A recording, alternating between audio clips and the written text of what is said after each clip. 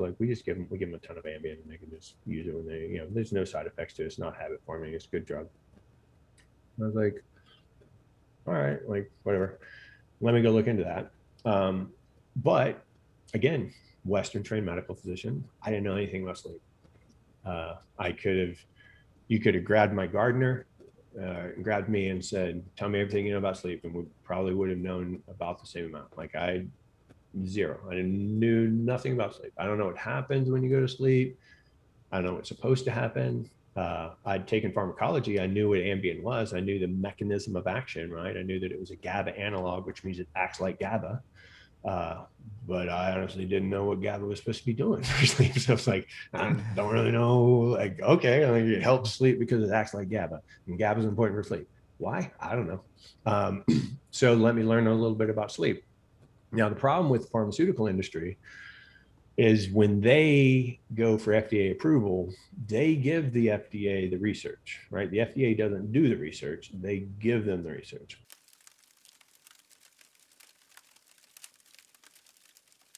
All right.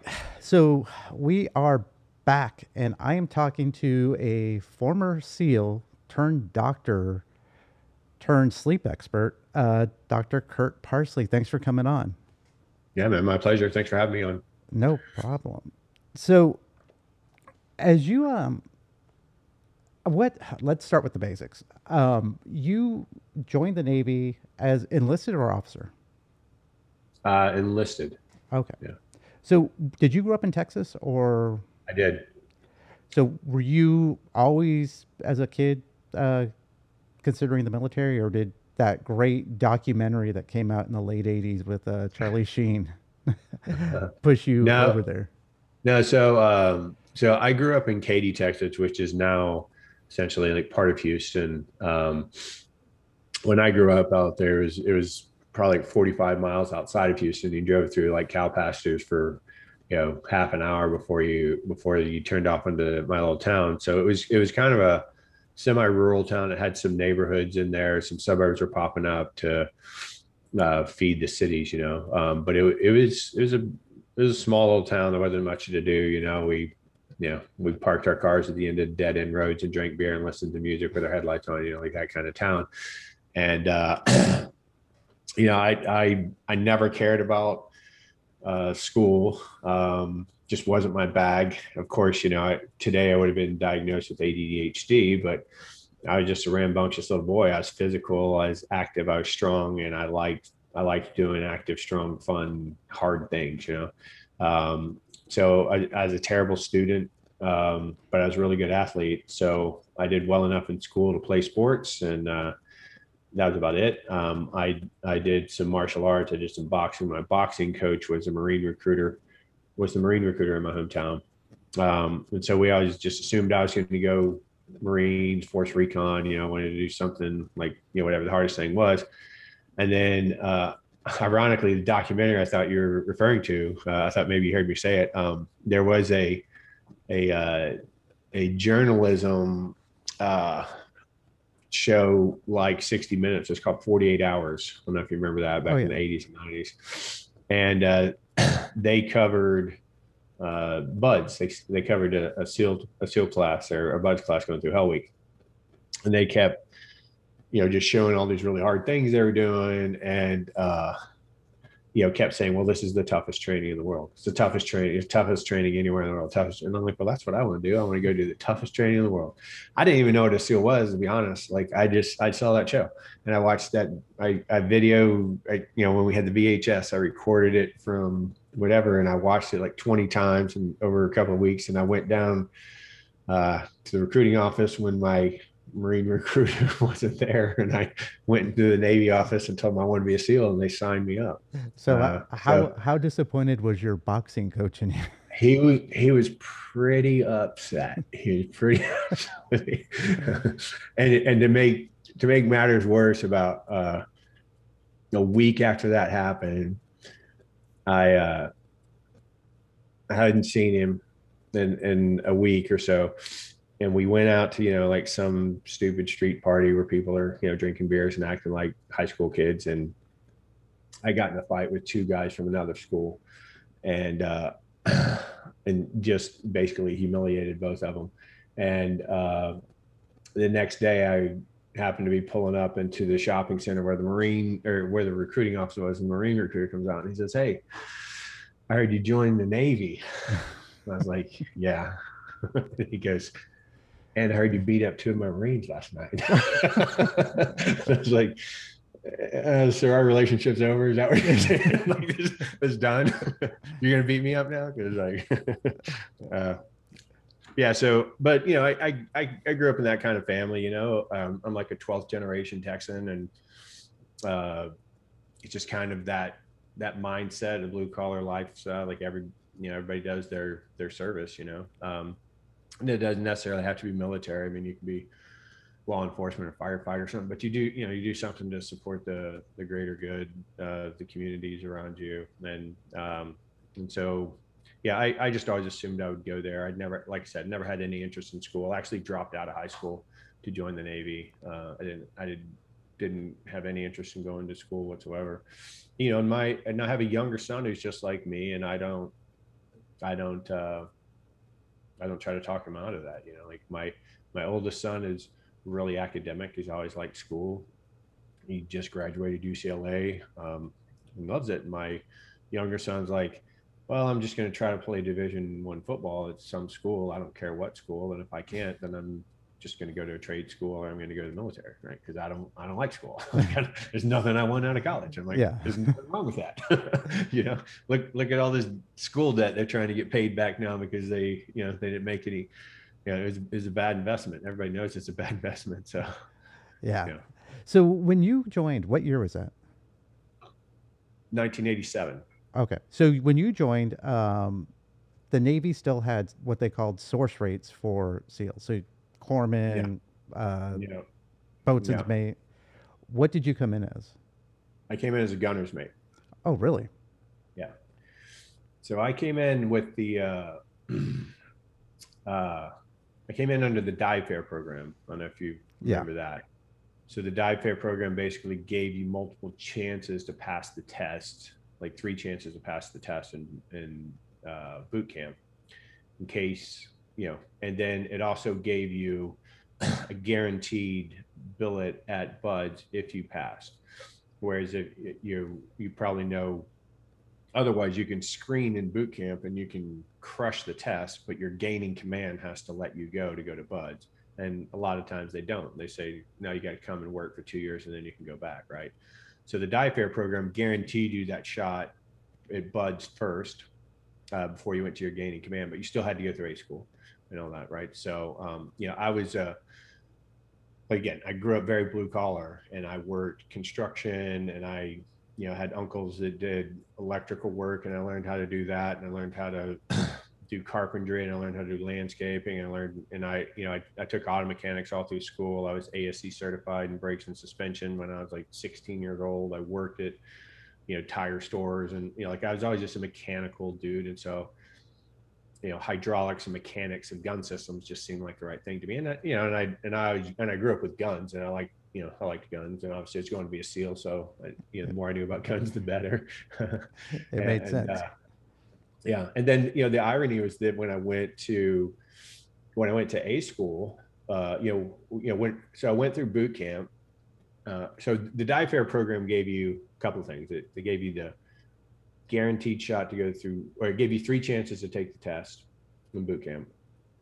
It gave you uh, a meritorious promotion to E3 out of boot camp. And then it gave you uh, E4 out of A school. Um, but I got meritoriously promoted in boot camp anyway. I passed the test on the first try and I graduated in the top of my class. I was the, I graduated at the top of my class in A school, so I would have gotten meritoriously promoted to E4, but they didn't give it to me. They gave it to the second place guy because I was getting it already. Yeah. Um, so didn't really do much for me other than extend my enlistment a couple of years, but it, you know, it did give me that guaranteed shot to go. And I wouldn't have done well in the Navy, you know, because yeah. I, uh, you know, despite how it might look from the outside, I'm not really good at following the rules just because they're the rules. Like the rules have to make sense to me. Um, and uh, that that's not compatible with uh, regular military life. It's okay for being a SEAL because you can raise your hand and bitch. Um, doesn't mean you won't get shut down, but you can at least raise your hand and bitch. Nobody, you know, nobody's going to throw you out for that. They're gonna they're gonna respect that if it's you know if it's articulate and it makes sense. Um, and uh, being a doctor in the Navy is no different. It's like doctors aren't supposed to know anything about the military, right? they're just they're meant to be doctors. Like you can wear your uniform wrong, like mess everything up, like not know how to salute, like you know th- nobody cares. Just like go be a doctor, be a Yeah. doctor. That's what we need you to do. So, you know, in that respect, I did I did well because had I. I, I mean, I, I look back now, it's like the Marines were the worst match for me ever. So that was divine intervention. I mean, I would have, I would have, I would have been beaten down in the Marines because, uh, you know, I'm just outspoken. No, no, no. And actually, uh, later we'll talk about that. The uh, the other the reason why I found you through another podcast, and you had some pretty radical ideas on what's going on now. Um, yeah. and it, it a lot of what you said back, I think it was what early 2020, mid On, 2020. on Paul's on Paul's podcast. yeah, Um, yeah. I, I want to say we were we were only like maybe three or four months into the pandemic when he and I did that. yeah, and a lot of it, what you said then makes sense, even more sense now. Yeah, I mean, I I I did 30 COVID videos on Instagram. They're about 30 minutes each. I did one. I did one like every day. Mainly because I was pissed off that I that I felt like the the the general public was being bullied. They're being they're being lied to. You know, because uh, one of the big tricks of the media is they never give the denominator, and they say thing like COVID cases skyrocket. Uh, you know, up 300%. It's like, okay, well, it went from three to 12. Like, is that a big deal? No. Right. And I'm, and I'm not saying it was that severe, but that's, that's what they do all the time, you know? Yeah. And they're doing it, they're doing it now too. They're like, you know, how high cases are. And you're like, okay, but we're still like one tenth of the cases we were at at the peak, and we're still at half the cases we were at when you opened when you reopened the economy because everything was going so well. Yeah. So like it, they never they never give the denominator. They just spin it the way they want to. So I was just in there like giving some reality. I was like pulling up uh, worldometers and saying, all right, here's the actual death rate, here's the actual case rate, here's the actual case fatality rate. This is worldwide. Here's nationwide. Here's state by state. Pulling it up and just showing like this is the data. I'm not. I'm not saying. Uh, I'm not. I'm not saying that everybody's lying to you. I'm just saying this is the actual data, and the actual data is like, you know, out of all the people who are sick, these are the people who are critically sick. You know, all the people that we know have the cases. These are the people who are critically uh, ill, and these are the, this is the number of people who are dying. And that number never changed. I mean, Right. it didn't. It never changed throughout the entire pandemic, and it still hasn't changed to this day, other than with this new Delta variant that everybody spun up about we've completely decoupled death and illness. So, you know, there's very, very, very few deaths uh, with his, you know, with, with this Delta variant relative to, the, you know, the number of cases. So they keep saying, oh, the cases, cases, cases. It's like, you know, shutting down or you know, doing mask mandates and stuff. And excuse me, in DC, and they've had two deaths in the last two weeks. Yeah, it, it's getting crazy. But I want to jump back to your uh, your time with BUD/S. Sorry, I had a little epiglottis failure. No problem. so, so your time at BUD/S. Uh, I don't want to go through every step of it. I think there's been enough people talking about BUD/S, but I really do want to touch on. As a young sailor, you just got out of boot camp, just got out of A school. You show up to your first day. Uh, Uh, how much of a culture shock was that for you? um, yeah, let me think about that. Uh, you know, so when I was in boot camp, um, so one of one of the things they did was uh, with that dive fair program, you didn't just get to take the test multiple times; you got to go train in the mornings, and you go you got to go train with the SEAL motivators. If you if you failed the test the first time, then you could go train with the SEAL motivators before your next test. If you failed that one, you should, you could go train with them for a while again. And there was I, I don't remember how long you had in between taking it. Maybe it's like a week or something. So they had this 4 a.m. training, and it was kind of all the components. It was running and swimming and calisthenics and what have you, and all that. And I'd done so well on the test initially that uh, the SEAL motivators asked me if I would come and be like one of the coaches because I, you know, I'd grown up swimming and lifeguarding and I had the side stroke down really well. And I, and like I said, I, I, was just, I was a good athlete. And so um, I, I did really well in the test and they said, well, you know, we, will you come in the mornings and train these guys? So worked out great for me because like the first three hours of, of uh, boot camp every day, I was at the gym working out and hanging out with the SEALs. And, uh, so I got to know them and I got to I got to know the culture a little bit because I did that. Uh, I mean, I think I took the test like the second weekend, so it was like the next six weeks, like every single day, seven days a week, I went over to the gym for three hours a day and I worked out and I taught other guys how to do side stroke and you know whatever, improve their pull ups and things like that. And then I hung out with the SEAL motivators and they would drink coffee and pick on me, you know, like you know, like they do, but they picked on me because they liked me and you know they give me shit. Uh, I, I, was so naive. I didn't know I was going to get paid to be in the military. Huh? Um, they thought that was the funniest damn thing they'd ever heard in their life. And so the this uh, petty officer Winkler was he was the the biggest personality amongst the SEAL motivators, and he took me around to every single office in the entire building there. And it wasn't just SEALs; it was like you know twenty different people. I mean, tell them what you just told me.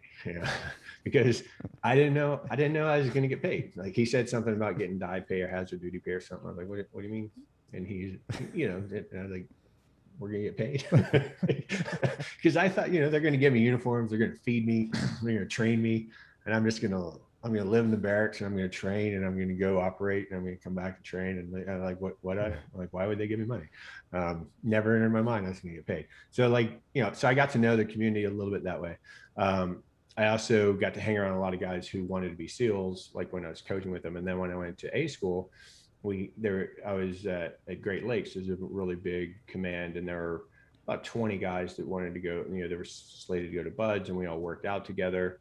Um, some of those guys got there before me, and like we stayed in touch, and we got to talk a little bit about what they were experiencing when we got there. Um, and then when I got there, you know, there were already, you know, half a dozen, maybe 10 guys there that I knew who had already, like who had been there a couple of weeks before me and they they hadn't classed up yet or they were already in the class and so it wasn't a huge it wasn't a huge culture shock because I felt like you know I had a little bit of community when I got there um, and you know and honestly like it it wasn't that different than Texas 5A football you know as far as like the intensity and you know kind of fear that's there knowing that you know the coaches are about to come rip on you and like you can't do anything but suffer and you know try to perform well. Um, and no idea how long it's going to last or you know what's going to happen you're just going to go. And so like it, I, I think i was i was pretty well prepared for that um, i was a terrible runner because I, I started BUD/S at 225 pounds and back in those days like the average SEAL was probably 150 160 pounds you know it was a super endurance oriented program and it's still enduring, but you know they're doing like more kind of high intensity stuff as well, which I would have done really well at because I was a power athlete. You know, I, I played football my whole life, run track and field my whole life, and I and I'd even started powerlifting my last year in high school. Um, actually competed my last year in high school in powerlifting. Um, so it, it wasn't a, it wasn't a huge culture shock to me, but of course there was the intimidation of you know this Just, big machine that you're walking into uh, you know, you're walking into this command of all these guys in their green shorts and their blue and gold shirts and their caps down and their razor sunglasses and they're just, they're like demigods to you right? Like as far as you know they've all killed a million men with their bare hands and they're just you know they're just yeah. waiting for their chance to rip on you and, and find your weakness you know? So they're like it was it was super intimidating but as far as like the the culture i felt i felt comfortable with the group already you know? Like i felt like those, those were my people already and we're kind of like we were a team we are into this together because i you know because of football i think i you know the team sports just made i just feel that way I just i just felt that way about it so now when you were going through BUD/S um, you see people dropping all the time ringing the bell. Yeah. Did you ever have a moment where that crossed your mind? No. Um I, have I've had this conversation so many times with, with so many guys, and and uh, you know, still to to this day, my best friend in the world is the guy he was my he was my first roommate in BUD/S. Like we you know we had we had three, but he was the first guy who moved in with me. I, I was the first one in the room. He came in like a couple of nights after me, um, and uh, and we were and then one of his friends that he joined the Navy with from high school, he came to SEAL training as well. Um, so the three of us, we were all like 18 years old. And then there was an older guy there, older meaning he was like 24, 25 he had been through Bud. He had been to BUD/S once uh, and got medically dropped. Um, and we just idolized this guy. Like thought like, he was the man. You know, like he knew everything. We just looked up to him. He was like our, he, you know, he was like our our father figure. Like we we did what he told us to do, and he um, he made he made our lives better. Um, and then he he quit during Hell Week, and we were like, what? know, like uh, uh, like we did this thing called Lions Lope, uh, and and and I think this works to disadvantage of a lot of guys. So me, like me and my best friend, we were both just kind of uh, really aggressive guys. You know, it's like we just uh, all stress got converted into anger and aggression, essentially. You know, so like we just tried harder, and like the more intimidation there was, like the harder we, the harder we charged, and uh, and that was our personality. Uh, but a lot of people in there, like a lot of people knew a ton about what was going on, right? And they talked to people and they took notes and they like and they thought they could like game out the system and like conserve energy here because they knew that was going to be really hard or you know or do some sort of secret preparation for this that they knew was coming up and we never did any of that like me and me and my close friends like we just took whatever came, right? Because like, who knows? It, anything could change at any time, and it didn't matter what was coming next. All we had to do is get through what we're in right now, and then we'll worry about what's coming next when we get to what's coming next. Um, and those people, I think, were the most likely to quit because they. I mean, you think about it. Like, if you knew how, if you knew how hard the track was, uh, you know, uh, it's one of the biggest, one of the most common sayings in entrepreneurship is like, uh, if if you knew how hard it was going to be to build your business to success, most people wouldn't do that. Like most people wouldn't yeah. redo it. They look back and go, "This was exponentially harder than I thought it was going to be." So they like they would have pulled out. Uh, and I think it was the same way. So like you know there was this exercise coming up as Lions Lope, and as soon as they announced it, I mean a flood of people ran up to quit. And and I I couldn't get my head around that. I was I was like, well, look, we haven't done anything yet. Like, why are you going to quit now? Like, you know, quit while you're doing it if it's impossible, right? Like, if you if you if you feel like you're in fear for your life and you don't want to keep going, then quit while you're doing it. Or, you know, but even more odd to me was like, well, you knew it was coming, right? Like, you you've been planning this for a long time, so if you knew it was coming, why are you going to quit before you even start? Like, that doesn't didn't make any sense to me. And I remember. Uh, watching my uh, my roommate, you know, this older guy that we all respected, I remember him quitting and like we literally ran up there and tried to pull him out of line and the instructor beat the crap out of us, sent us back and, you know, into the formation. And uh and I just remember watching him and thinking, like put try to put myself in his shoes for a minute. Like what does what's it gonna feel like when he rings that bell? And it just like made me viscerally nauseous. Like I just felt sick, and I'm like, nope, I turn that off. Like that's as close as I ever came. You know, I was like, I, I wasn't thinking about it myself. I just thought, what would it feel like? That was the first time I even entered my mind what it would feel like because, like, you know, I had something to prove, and I I was not going to quit. Like I, there were plenty of times where I thought I was going to die, and I just thought, all right, that's that's what's going to happen. I'm going to die. I'm I'm not going to quit. Uh, so if I die, I die. And um, and almost everybody I know who made it through BUD/S will tell you the same thing. Like they never, never entered their mind. They were like, they're going to have to carry, carry me out here on a stretcher or in a body bag. I'm not, I'm not quitting. Like you, uh, you can do whatever you want. I can fail out. And I was really afraid of failing out because I could barely pass the time runs. You know, I just, I was just, I wasn't built for that. I'm, you know, um, I, I was just too big and like too much of a power athlete and like all those you know six and ten mile you know training runs are just ridiculous for me uh, they were at least 30% faster than i could actually run Um, and uh, yeah, I, I, guarantee you, I was running at maximal heart rate the entire time. You know, for like you know an hour and a half, two hours, I was running at like my my cardiac threshold. Um, and uh, yeah, so I, I, don't remember your exact question. I think. oh no, it was just asking you uh, whether you ever thought of a moment where you may have quit. Oh, right. Yeah. So, to that, um, for the guys that are going to watch this who maybe are thinking about going that route, I have a few friends that have tried and didn't succeed. Mm-hmm. They said that the swimming was the thing that kicked their ass. No, it it uh, it depends really on the individual. Like everybody's going to have a weakness. Um, of course, like I said, my running was my running was my weakness. Um, PT I was good at, um, for the most part. Uh, you know, the obstacle course I was probably average at. Uh, swimming I was I was really good once we got to fence, right? Because uh, I, I I have really I have really big legs, and it was just super easy for me to create a lot of torque with fins. Um, but as far as like all the swimming in the pool, like that was miserable.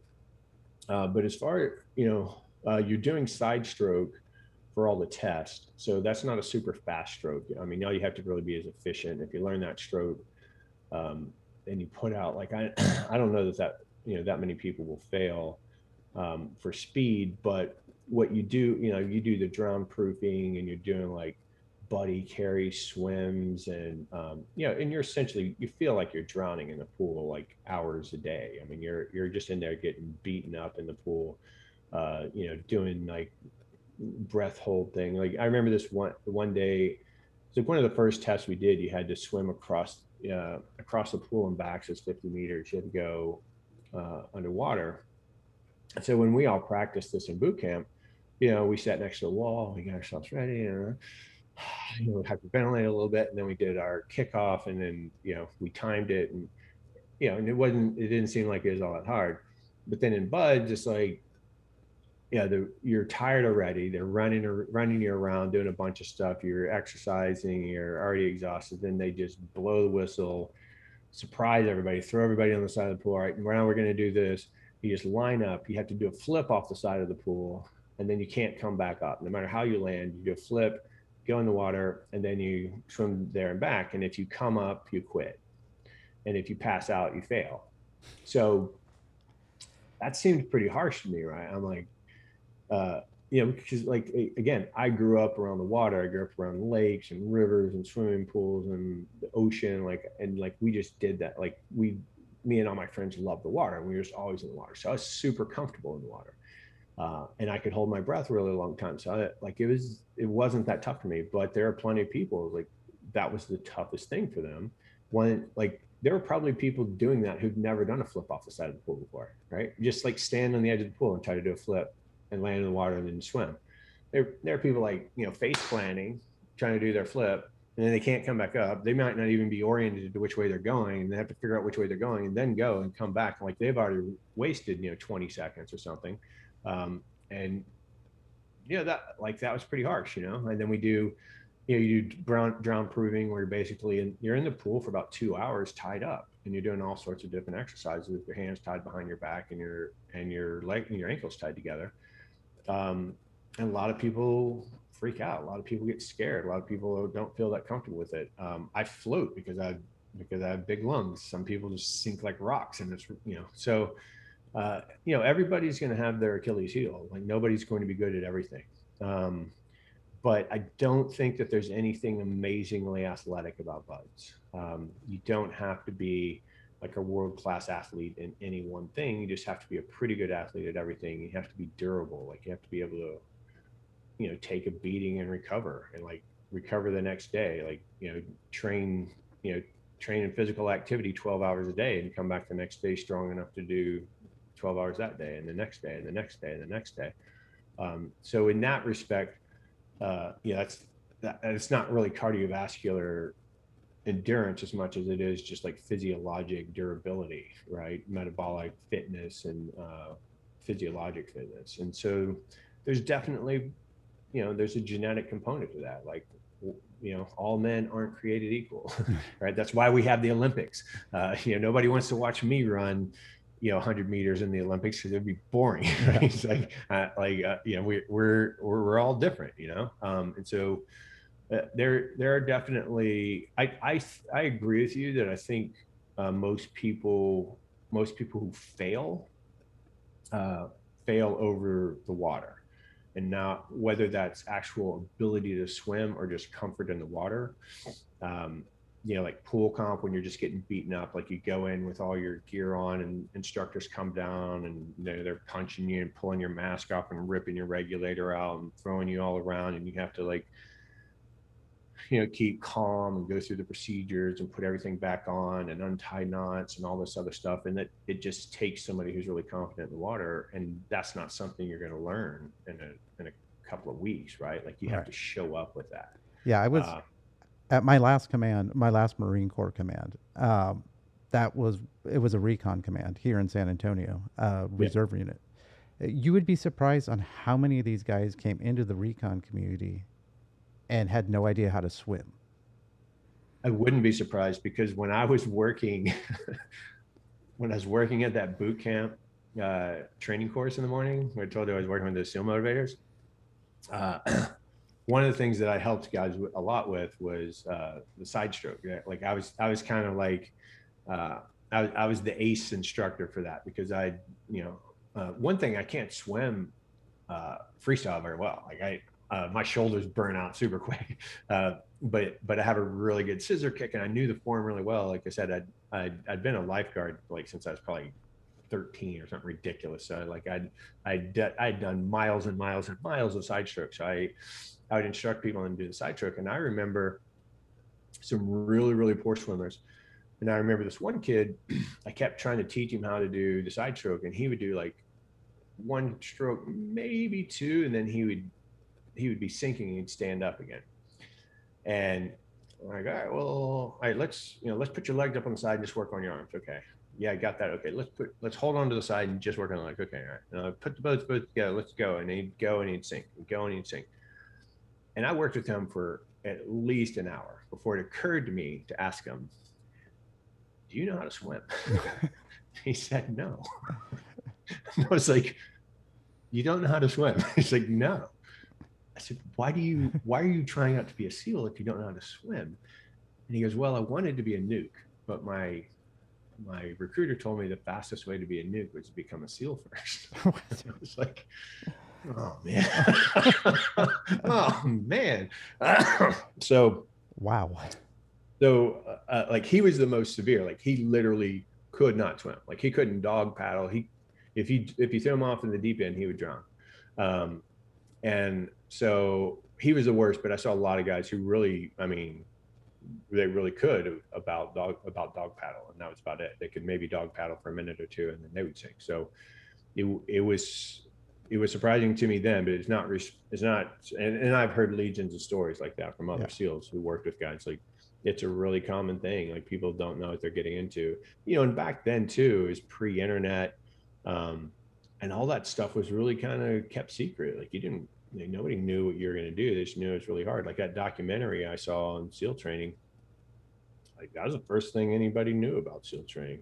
Like they, people didn't even really still know what a SEAL was. Um, you know, there's like a few books in the library you could find, you know, three or four paragraphs about the Vietnam era SEALs, and that was about it. Like nobody, nobody knew what these guys were doing. So uh, now it's like there's all these prep courses and there's online, like you know, the SEALs themselves have like online training programs and communities, and guys like Mark Divine have prep courses that you can go train for a year before you even go to BUD/S. And you know, I mean, there there's a there's very little excuse to not be ready for it when you get there.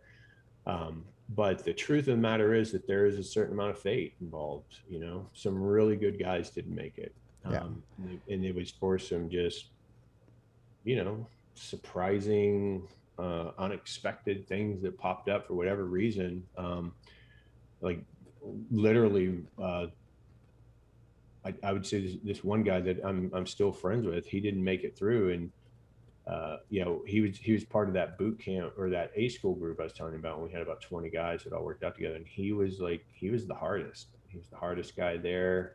He was smart. He was mature. Uh, he was a good athlete. He was good at everything. um, and he didn't make it through. Like the top officer in my class broke his leg like the week before graduation. Uh, you know, he, he, ended up making it through, but it was a compound fracture, so he was out for like six months. You know, I mean, oh. there there there is a lot of fate involved, and you know, and you can get hypothermia and get washed out. You can get uh, you know, you can get injured and hell week uh, just at the wrong time to where you can't roll forward. You have to roll backwards. Then you got to start all over. And depending on how much of a beat down you can take, you might not have it in you to start all over. You know, um, yeah. So it it's it's uh you you can do your best to prepare but it's like anything else in life surprises can come up um and you know the the the I, I think the most tragic part about it is how how much people let that mean about themselves um because they put so much importance on it and then when they don't make it it it like devastates them and it it's it's shaping their life, it's shaping their personality and their worldview 30 years later. Well, I don't know if you heard. Um, remember the fire on the Bonhomme Richard that happened? Yep. the fire on the Bonhomme Richard that happened last year in port in San Diego. Yeah. It just came out that NCIS arrested a kid who was a BUD/S dropout. Oh, yeah. He failed out of BUD/S. He was pissed off at the Navy and um, burnt mm. down the ship. Yeah, and now um, in what just about what two years ago was it? We had that suicide. Maybe it was a little longer than that. Some officer that didn't make it just like uh, jumped off the top of the barracks, the, the officer's barracks or something. Suicided the first night. Like they sent him home, didn't put him on suicide watch. There was all this. His family was trying to sue the Navy.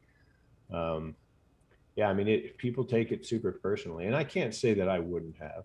Um, but I look back on it now, you know, and, and it's easy to say if you've made it, I guess, you know, but like I don't look down on people who didn't make it. I mean, I I realize I could have been one of those people. Like something could have happened and I and I wouldn't have made it. You know, like you don't you don't have a like a 95% attrition rate because only 5% of the people are prepared.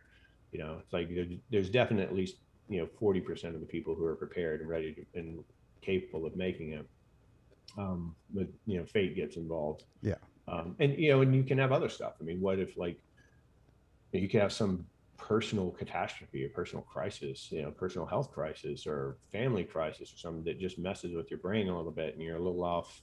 You know, you're a little out of you're a little off your game, and you and you fail a couple of things, and you know, I mean, it, it's it's it's harder to fail now um, because when when Rumsfeld, uh, well, I don't know about now, but um, because I haven't really talked to people in the program for the last, for a couple of years, but you know, Rumsfeld came out and had his, you know, his number one priority for the military was to create 2,000 SEALs or something like that. I remember that. Um, and so, you know, we only have one facility that does it.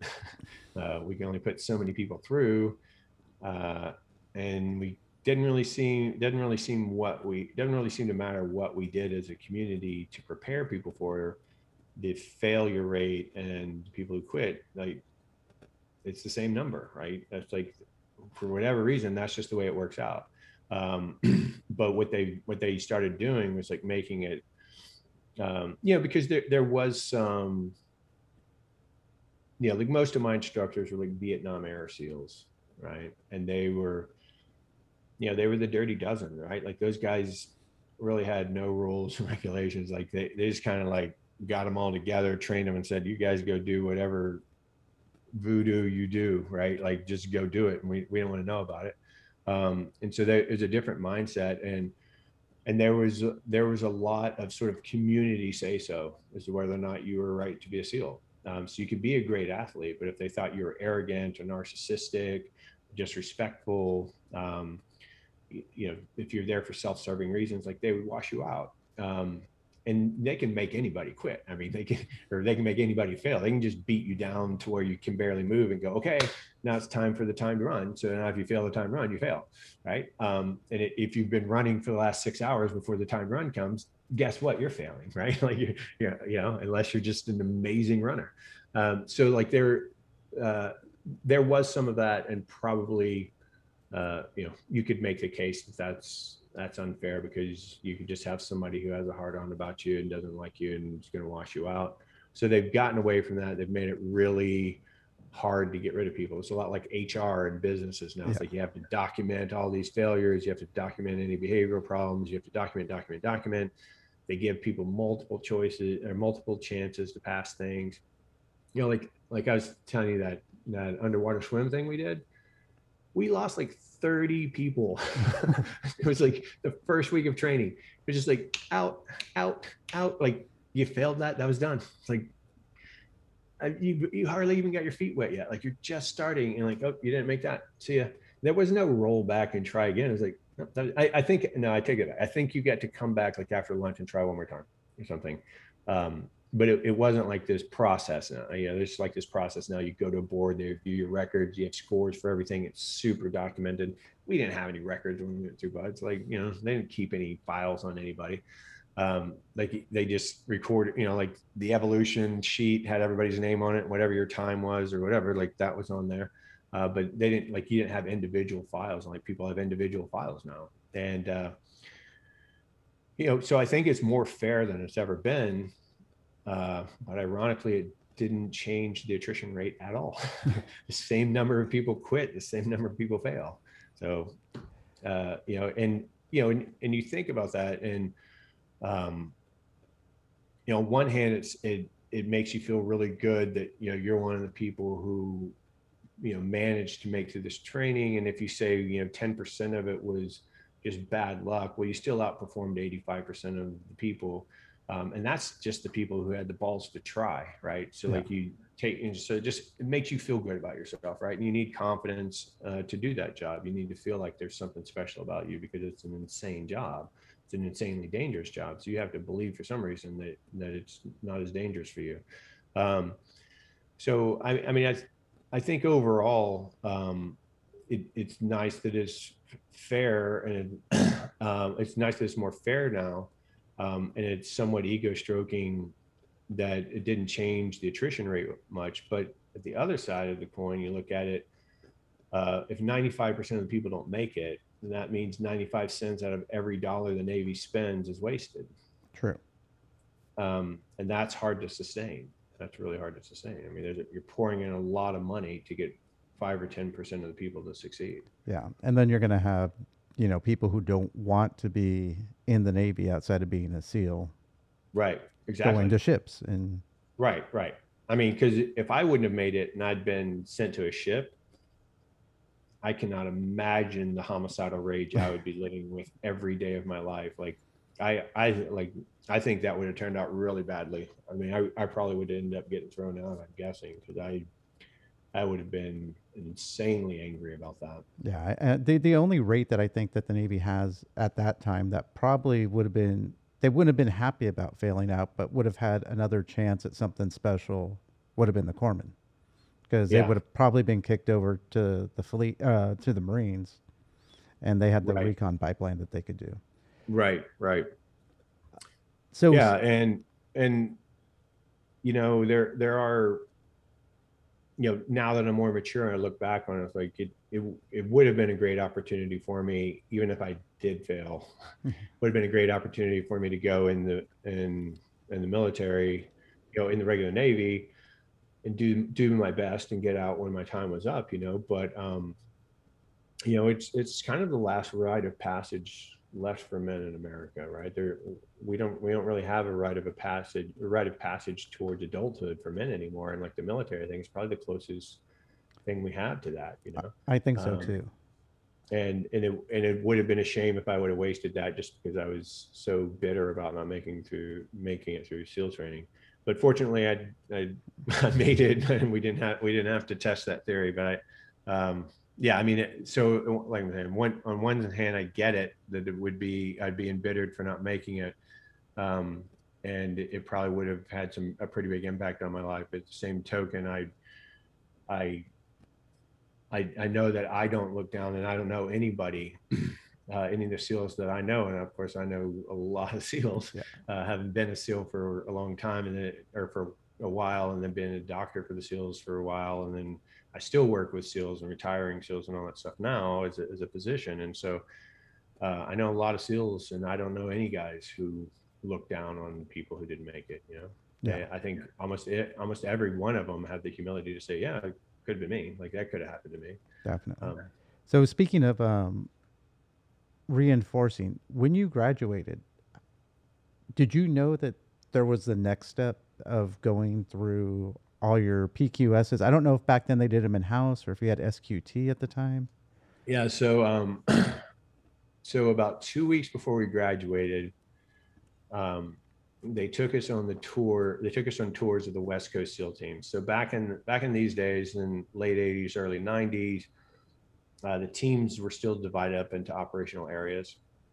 So Team Five was like Southeast Asia. Uh, team One was like um, West uh, North Northwestern European Germany kind of stuff. Um, team Three uh, team three might have been AFRICOM or something. I, I can't remember exactly what everybody's AOs, but we all had our operational area. And I remember uh, about two weeks before we graduated, you know, you had to do the dream sheet. You had to say what what teams you wanted to go to. And of course, we couldn't visit the East Coast SEAL teams, um, so we just went through the West Coast SEAL teams, and then you and then you, you know, you could go to one, three, five, seven, or you could do you could do one, two, three, five. Yeah, yeah, seven wasn't there yet. Obviously, you couldn't go to six.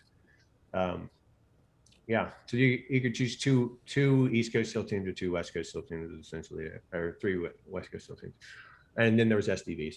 Um, and so they took us around on a tour and kind of showed us, and a few people talked to us about what we did, and like I realized at that time, like that was kind of my wake up that oh, I I didn't really think about the next step. Like I didn't really think about what was going to happen after BUD/S. I was like, huh, like I don't, I don't really know. Like, so I, you didn't know you were getting paid, and yeah. you didn't know what was going to happen after BUD/S.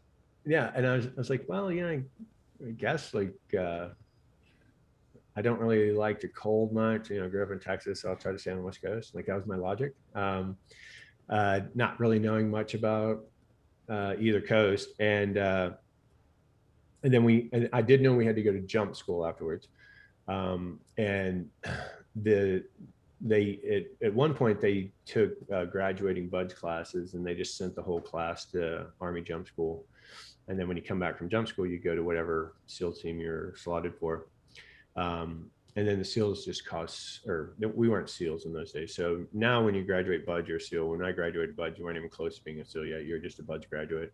Um, and so we went to we went to um, you know they they would send out piecemeal guys to jump school but um, they'd started this uh, you know this medical rollback thing for people who were injured and so we we in second phase we gained 20 people and in third phase we gained 20 people so we ended up with this graduating class of like 64 people you know it's like 24 originals but then like we we pulled in like 20 from the next two phases and so they're just like, this is too big. Like, you know, so they're just going to send it, they sent us all to Army Jump School all at once. And that was uh, a shit show. I, mean, I bet the Army appreciated that a oh, lot. Oh, God. We caused so much trouble. We were so arrogant because, you know, we're going there and, you know, that's an elite school for them. It's important to them. And they're like, they have a lot of pride going through it. And to us, it's just like, you know, getting our passport stamped or something. It's like, all right, we got to get through this thing. And I was like, it's dumb. Like, no, there's nothing that was hard or challenging or scary for us there. And we're so we're just like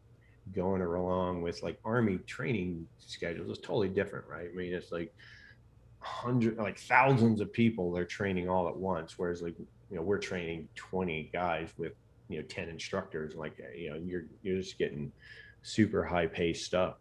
Um, uh, so we did we did jump school and then we went back then we went to our SEAL teams and then it was when I got to the SEAL teams that I learned that I was going to do what they called then STT they call SQT now uh, we called it SEAL tactical training um, and each team had their own and now they have now I think the entire like the entire BUD/S class goes through it at, at once at uh, on the West Coast and then they go to their teams after that and so that was when I went through training, that was uh, she did jump school, which was I can't remember. Do you know? Like six weeks, maybe eight weeks. Jump like school, I think it's Yeah. like 21 days. It's quick.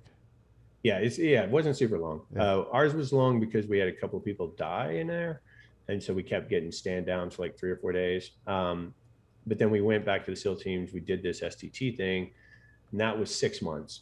Um, and during that six months, you actually learned how to be a SEAL because, of course, you didn't learn how to be a SEAL in Bud. You just learned how to do some basic skills, and it was really just kind of a beat down. Uh, you know, they're they're evaluating you as a person, right, and as a and as a candidate. But then you you know you go to the SEAL teams, you actually learn some tactics, and you learn you know how to use radios appropriately and how to you know do your gear appropriately, how to patrol appropriately, you know like Yeah. The, about vehicles and boats and like you, you higher level training. Um, and then that was just enough to make you a new guy in a platoon. And then you got in the platoon as a new guy, and everybody senior to you was evaluating you, and they and they, you know, they all had the right to go and and say that they didn't think you were a right fit. Um, and so that was. Uh, that was um, I think another six months. Uh, uh, you were on a probation period. um, yeah. So, so, I think after after STT there was a there was a written and an oral board, oh, okay.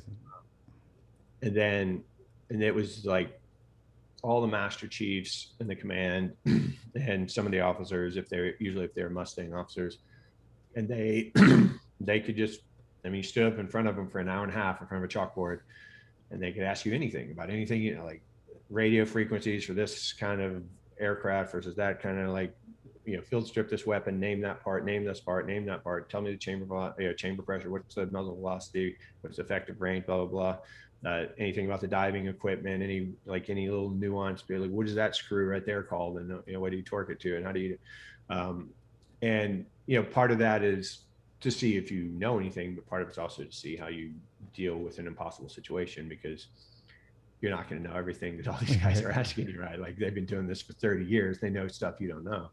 Um, and then if you pass that then you had a six month uh, probation in your in your platoon because you were actually going out and operating right you're going out and doing training you're traveling with your platoon you're you're operating as though you were a member of the platoon um, and so it was you know, the, the best evaluation of what you were going to be like once you actually became a SEAL. And then at the end of that probation period, you got your trident. So, you know, it was over a year after you graduated BUD/S before you became a SEAL. Um, and then BUD/S is six months. And if you get there, like I got there the day that the class before me was classing up. Um, so I couldn't class up with that class because I just, I mean, I wasn't ready. I didn't have any, I didn't have anything, I hadn't done any of the preparation work to be in the class. So like we had a pre-training, which was just basically Beat down. beat down. so you get two extra months of beat down. So I was at BUD/S for eight months, then went to jump school forever, whatever month or whatever that was, and then a year, uh, six months of STT, and then a, um, and then six months of probation, and then you became a SEAL. And I, I mean, I became a SEAL like, I mean, a week or two before my first deployment. You know, Damn. so it, it, it took a while and i think it was better that way um, and and obviously the reason they had to switch it though is, um, is, is because they made seals a rate um, because you know when i was in you my rate was gunner mate so when i went for advancement i i tested against the fleet and i had to test on mark 26 missile launching systems and stuff right and I'm like ah, Uh, like the, no, hy- no. the hydraulics the hydraulics of a uh, of a phalanx or something i'm like you know, I kind of remember I did something like that in gun school. Uh, you know, so um, yeah, they they decided that it would make it better to make seals a rate, and when you do that, well, then when you finish your A school, which is now BUD/S, you have to come out with that rate, which is a now seal. But I've heard a couple of years ago that they've switched it back, and like people are going through getting rates now. Oh, really? That'll be Yeah. interesting. Because, um, well, let me jump to this real quick, and then we'll come back to that. So, this is what early '90s when you finally uh, get out of BUD/S. Yeah, I graduated. Uh, I just I was just I was going. I'm I'm uh, I was applying for another medical license the other day, and I was going through a bunch of Navy paperwork, and I found my. Like I'm terrible at organizing stuff, but I I don't throw stuff away. So like I had I have like every certificate from going back like to 1987. I have my enlistment papers in the Oh, folder, right? Um, and then I had. Uh, so yeah, I I checked into uh, I checked into SEAL Team Five in January of 1990. So, uh, So- it was still it was still a year from that before I was technically a SEAL. So that's where I was going to go next. Was 1990? We kind of got into a little scuffle with Iraq. Did they call you guys up for that? Yeah. So um, a typical platoon workup was anywhere from 12 to 18 months, um, depending on what type of a platoon it was. Uh, and so I got in, I was fortunate in that I, I got into uh, what was called back then a free fall platoon. Um, because, you know, we didn't have, I mean, SEALs didn't have anywhere close to the money that they have now when I went through SEAL training, right? Like we were, we were still ragtag. We are still literally, we're using Vietnam era web gear when I was a SEAL. Um, and so, um, we, uh,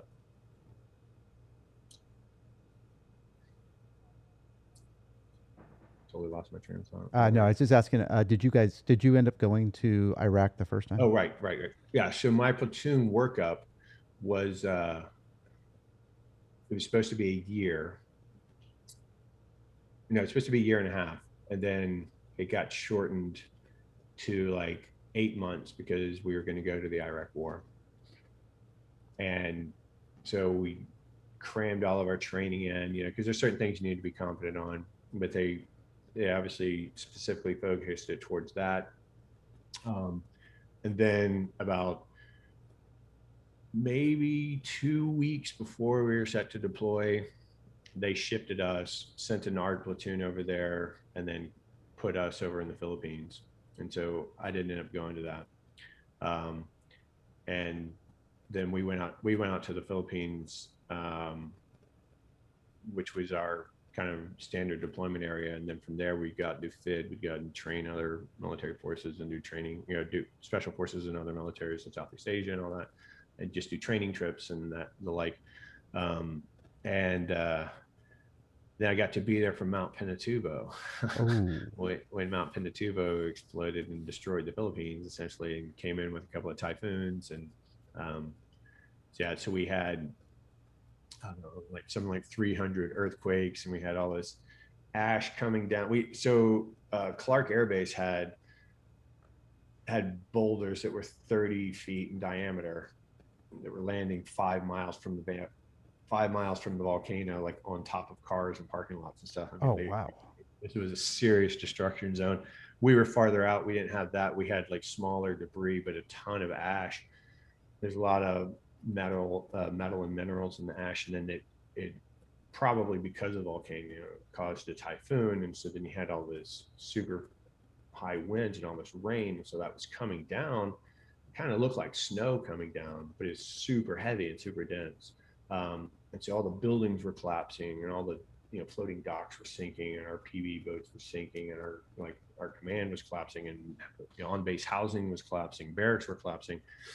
And so of course we're the seals so they send us out in our freaking six bys with uh boat boat oars. We didn't have pa- we didn't have shuttles and we're, we're like just like in buzz you know we're we're digging off of roofs and you know uh there's there's one time where we're, we're literally on a roof of like a uh, like a steel framed building, one of those corrugated uh, steel buildings, and um, and it, it just seemed shifty and sketchy, and like uh, all right, like everybody like started getting down, and we all started going up to the ladder to get down, and no one had even got to the ladder yet. The whole thing started collapsing. We're all like jumping off the building and landing in kind of like an ash pile, like almost like a snowbank, uh, but a lot harder.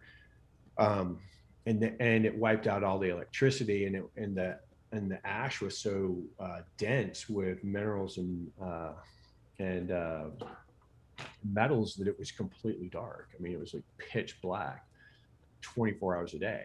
Um, and we and we you could we were wearing uh, flight suits and scuba masks and balaclavas, and you, you could shine a flashlight and you could see your feet.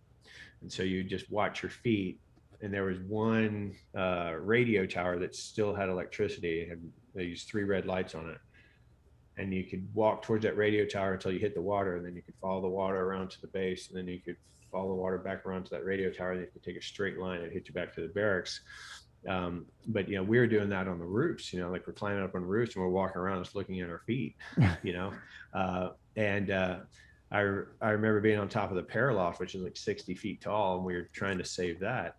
And uh, I I'd come up late. I don't remember what I was doing, but I came up late, and uh, I was asking guys where they're at, and they're like, "Come here, come here, walk towards our vertical."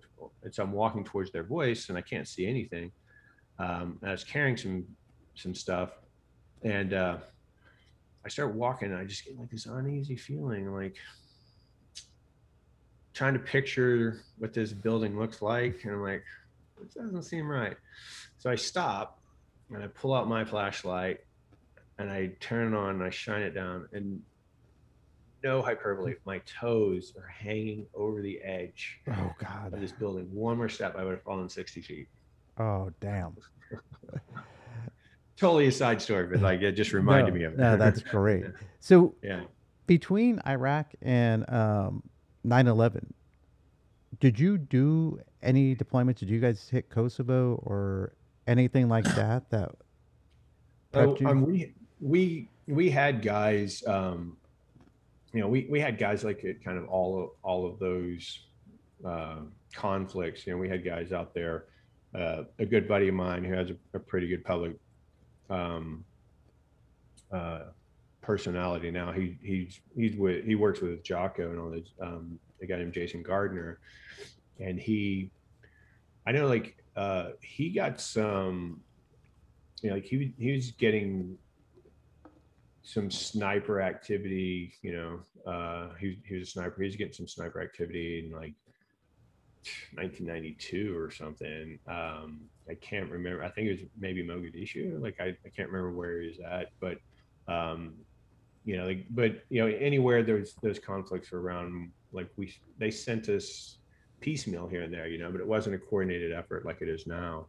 So it was kind of hit or miss, whatever you ended up in. You know, like sometimes it would be, uh, you know, they'd call up on a pla- they'd call up on a platoon, and you know the the like you know like the Gulf War thing, they call up on the platoon, and the the you know the community would decide, okay, well this is going to be the platoon we're going to send out there, and then uh, logistics change for a bit and things get put off and then all of a sudden the arg is like right offshore and it's like well why are we going to pack all these guys up and fly them over there when we have a we have a platoon on this arg we can just you know bring them to shore and, and take that you know so it's kind of it, it wasn't it wasn't super coordinated so it's kind of hit or miss what what you ended up doing. Uh, some guys some guys got to do some considerable action some guys like me were just like hollywood seals man. It's like we we did a lot of training, a lot of training. Yeah, we we do like a little bit of police action here and there. Um, you know, like uh, I remember in the uh, in the Philippines, we went to Manila for a while. We were trying to uh, we're trying to capture some of the Sparrow teams. I don't know if you're familiar with them, guys, No. those guys, but they were they're like these little. Uh, you know, the Filipinos have their little communist army, their little ragtag guerrilla group, uh, and they were just.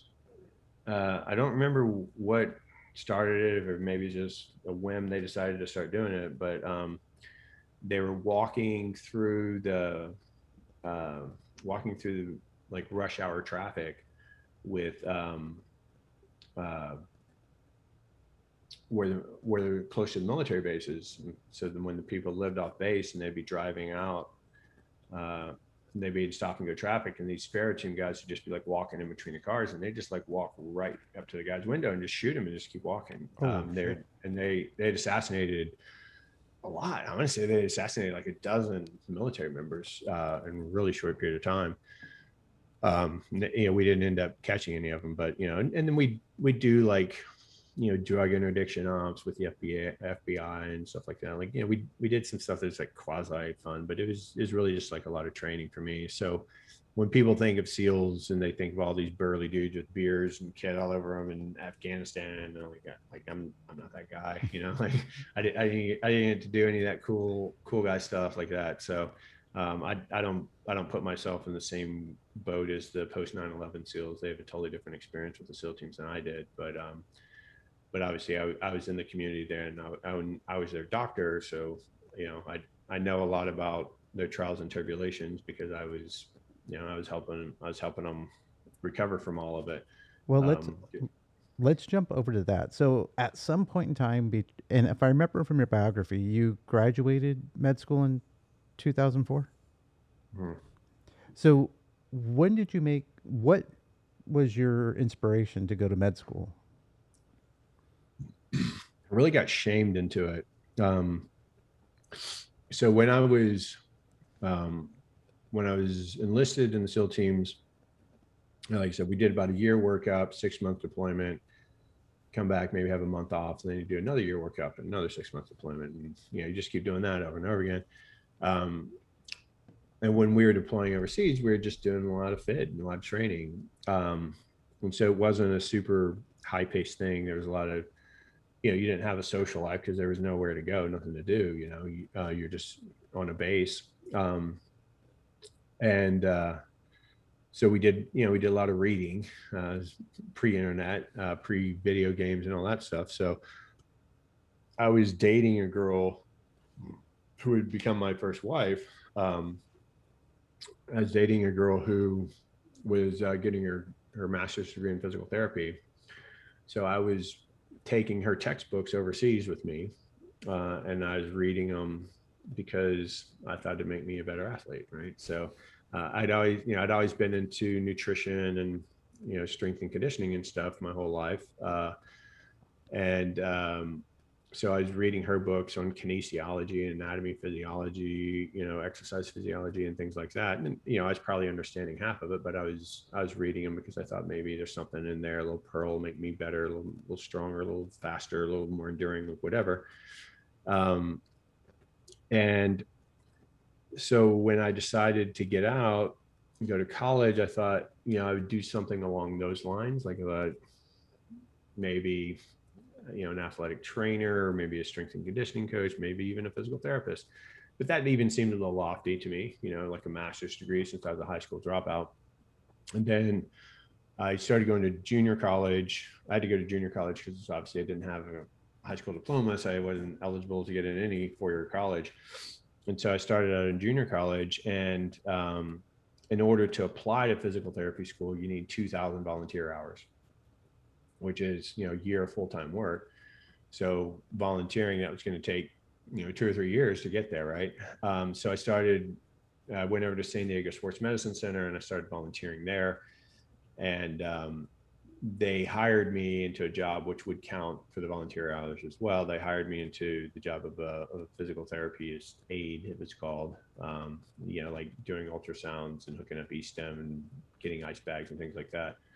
Um, and they hired me after about a week being there, and so I worked there the whole time I was in I was in uh, junior college and college, and um, you know, I, I just got on really well with the head physical therapist there and and she taught me a lot. And I was really kind of doing the same job she was doing by the time I'd been there for a year and a half or something. Like I, I was kind of had my own patient load. I was doing all the same things physical therapists would do. And I was like hmm, this isn't quite it for me you know um, and but it was this healthcare mecca I mean San Diego Sports Medicine Center had everything and we had MDs and DOs and orthopedic surgeons and family practice and sports med guys and podiatrists and acupuncturists, massage therapists, athletic trainers, PTs, ATCs, like, you know, everything. We had it all. And so I, you know, I worked with all of them and I could chat all of them. I could talk to all of them. I got to know all of them. And, um, you know, because I had, I'd spent, you know, almost seven years in the military before I went to uh, before I got out, and then I'd spent a couple of years in junior college. Like, you know, the doctors there were new doctors. They weren't that much older than me. they were like they were like four years older than me, five years older than me, and so I got to be pretty good friends with those guys. And uh, one day they were I, I was talking about all this, and they were like, "We well, should go be a doctor, right?" And I was like, "Come on." pump the brakes there, Sparky. Like, I, you know, I'm not, I, am a, I'm a high school dropout. I'm not going to get into medical school. And so we're having this debate. And then the, the doctor that owned it, Dr. Lee Rice is his name. He walks out, he hear, overhears this conversation in the hallway and he walks out. He says, Kirk. And I hardly knew the guy. Like, you know, he was, again, he was a demigod to me. Like, I, I, uh, I was surprised he knew my name. he goes, he's like, Kirk. The question isn't if you could get in. The question is, would you go if you got in? I said, of course I'd go if I got it. Like, well, then you have to try to get in, don't you? Like, I guess so. So that that conversation is literally what convinced me to try to become a doctor. Um, and then, you know, I was done with the military. I didn't have any. That was a closed chapter. I'd done my duty. I, you know, I'd, I'd done what I planned on doing. Um, but I was already married. Um, and by the time I was applying to medical school, I already had a kid.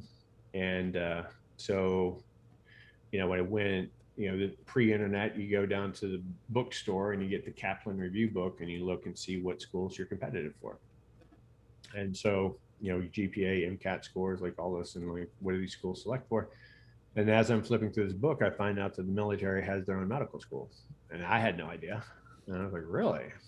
Uh, so let me look into that a little bit. So then I found out that my my prior time would count towards my pay, and I would uh, I'd go through as a you know as an O1E, like an enlist you know with an enlisted designation, so that would that count for extra pay. Uh, and found out that it was going to be enough like they would pay me enough money to support my family while i went to medical school where my wife wouldn't have to work so that's pretty hard to pass up. So, um, you know, the way the military works, you know, they train you and you've got to give them time in return. And so, about a two to one. So, you go to medical school, they train you in four years of medical school, and then you got to give them eight years as a doctor, essentially. Um, and so, I figured I would get back to the SEAL teams, you know, during those eight years, and I'd get to go give back to the community that was so formidable and, you know, shaping who I became as an adult. Um, all seemed like a win win and of course that's what happened so it, it all turned out great So I know a lot of people think uh, USUHS, which is the uh, uniform. What I forgot the exact acronym, but it's the military medical school. yeah Um, uniformed services university of the health sciences just flows right off the tongue Oh yeah, the perfect, Yeah. perfect branding. yeah Um, that military medicine. There's a stigma that military medicine, uh, the training, the education isn't as good as somewhere else. Is there any curriculum difference between USUHS and say UTSA or blah blah blah health science? no that um i think i think what probably is true is that um the people who stay around the military as physicians um long after they've paid back their obligation of course there are some people who are doing it out of pure patriotism um, and true a true love for military life.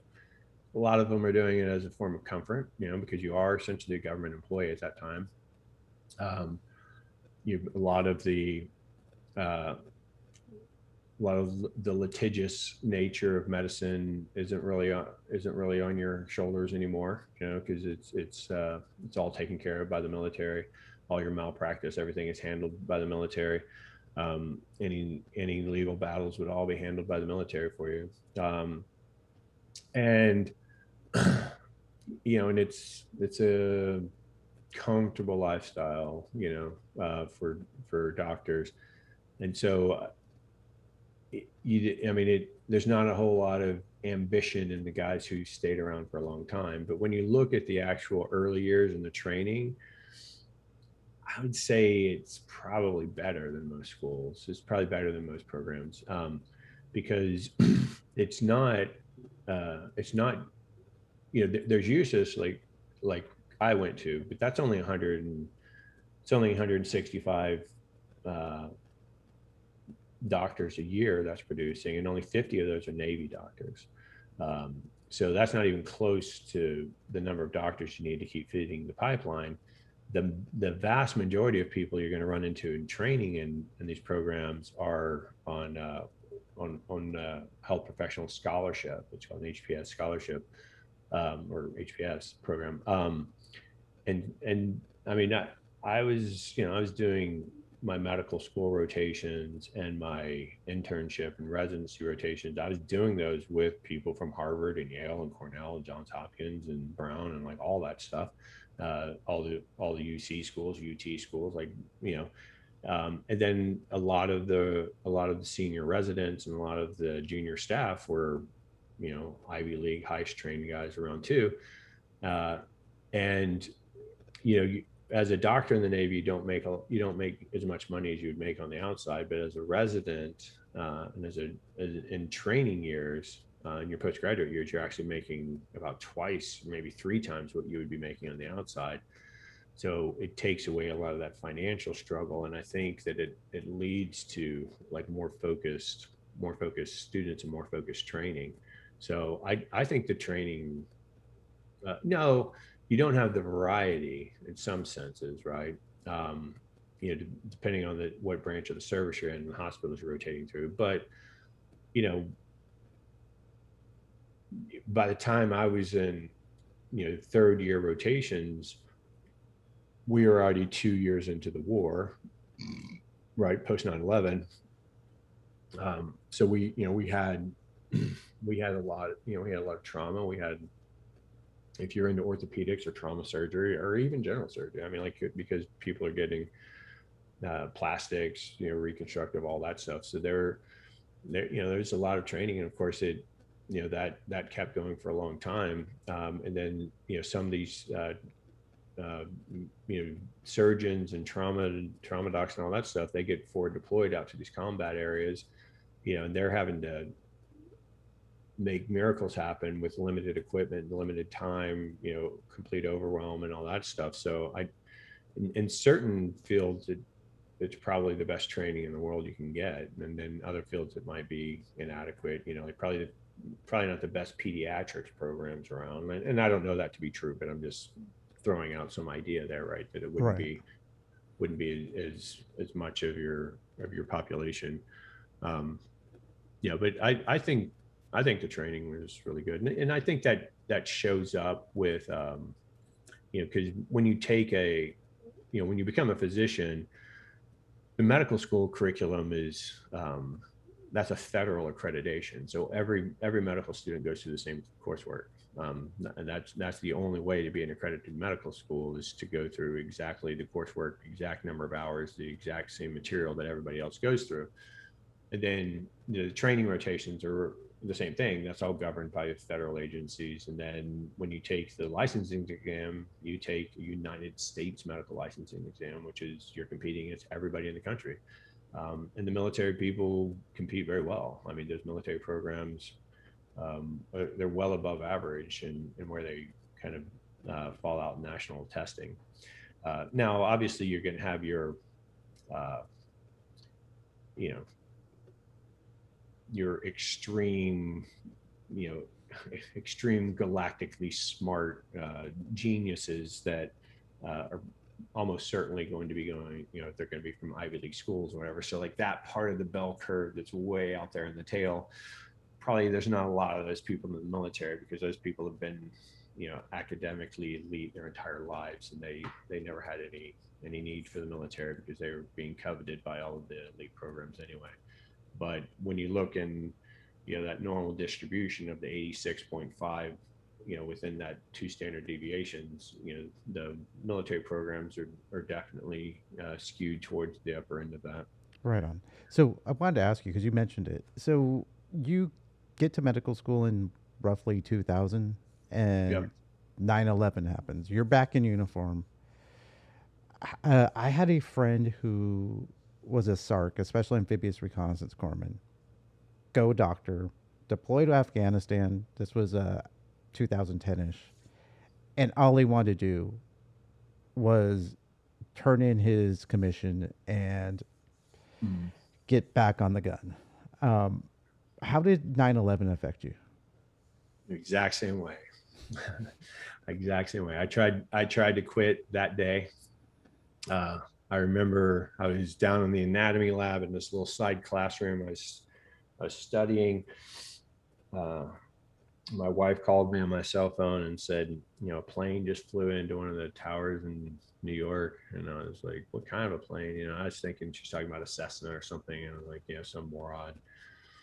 She's like, no, like a big plane, like a, I was like, really? Like, you know, I still didn't quite believe it. So I went out into the, to the anatomy bay where it's like probably I mean, it's long.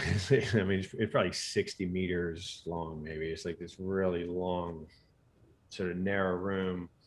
And all the cadavers are in these stainless steel kind of coffin looking things. And all this, everything stainless steel. The ta- tables are stainless steel. The stools are all stainless steel. And there is a television there. And I went and turned on the television and I saw the one tower, you know, burning. Uh, and then just a few seconds after I turned it on, I saw the second plane fly in.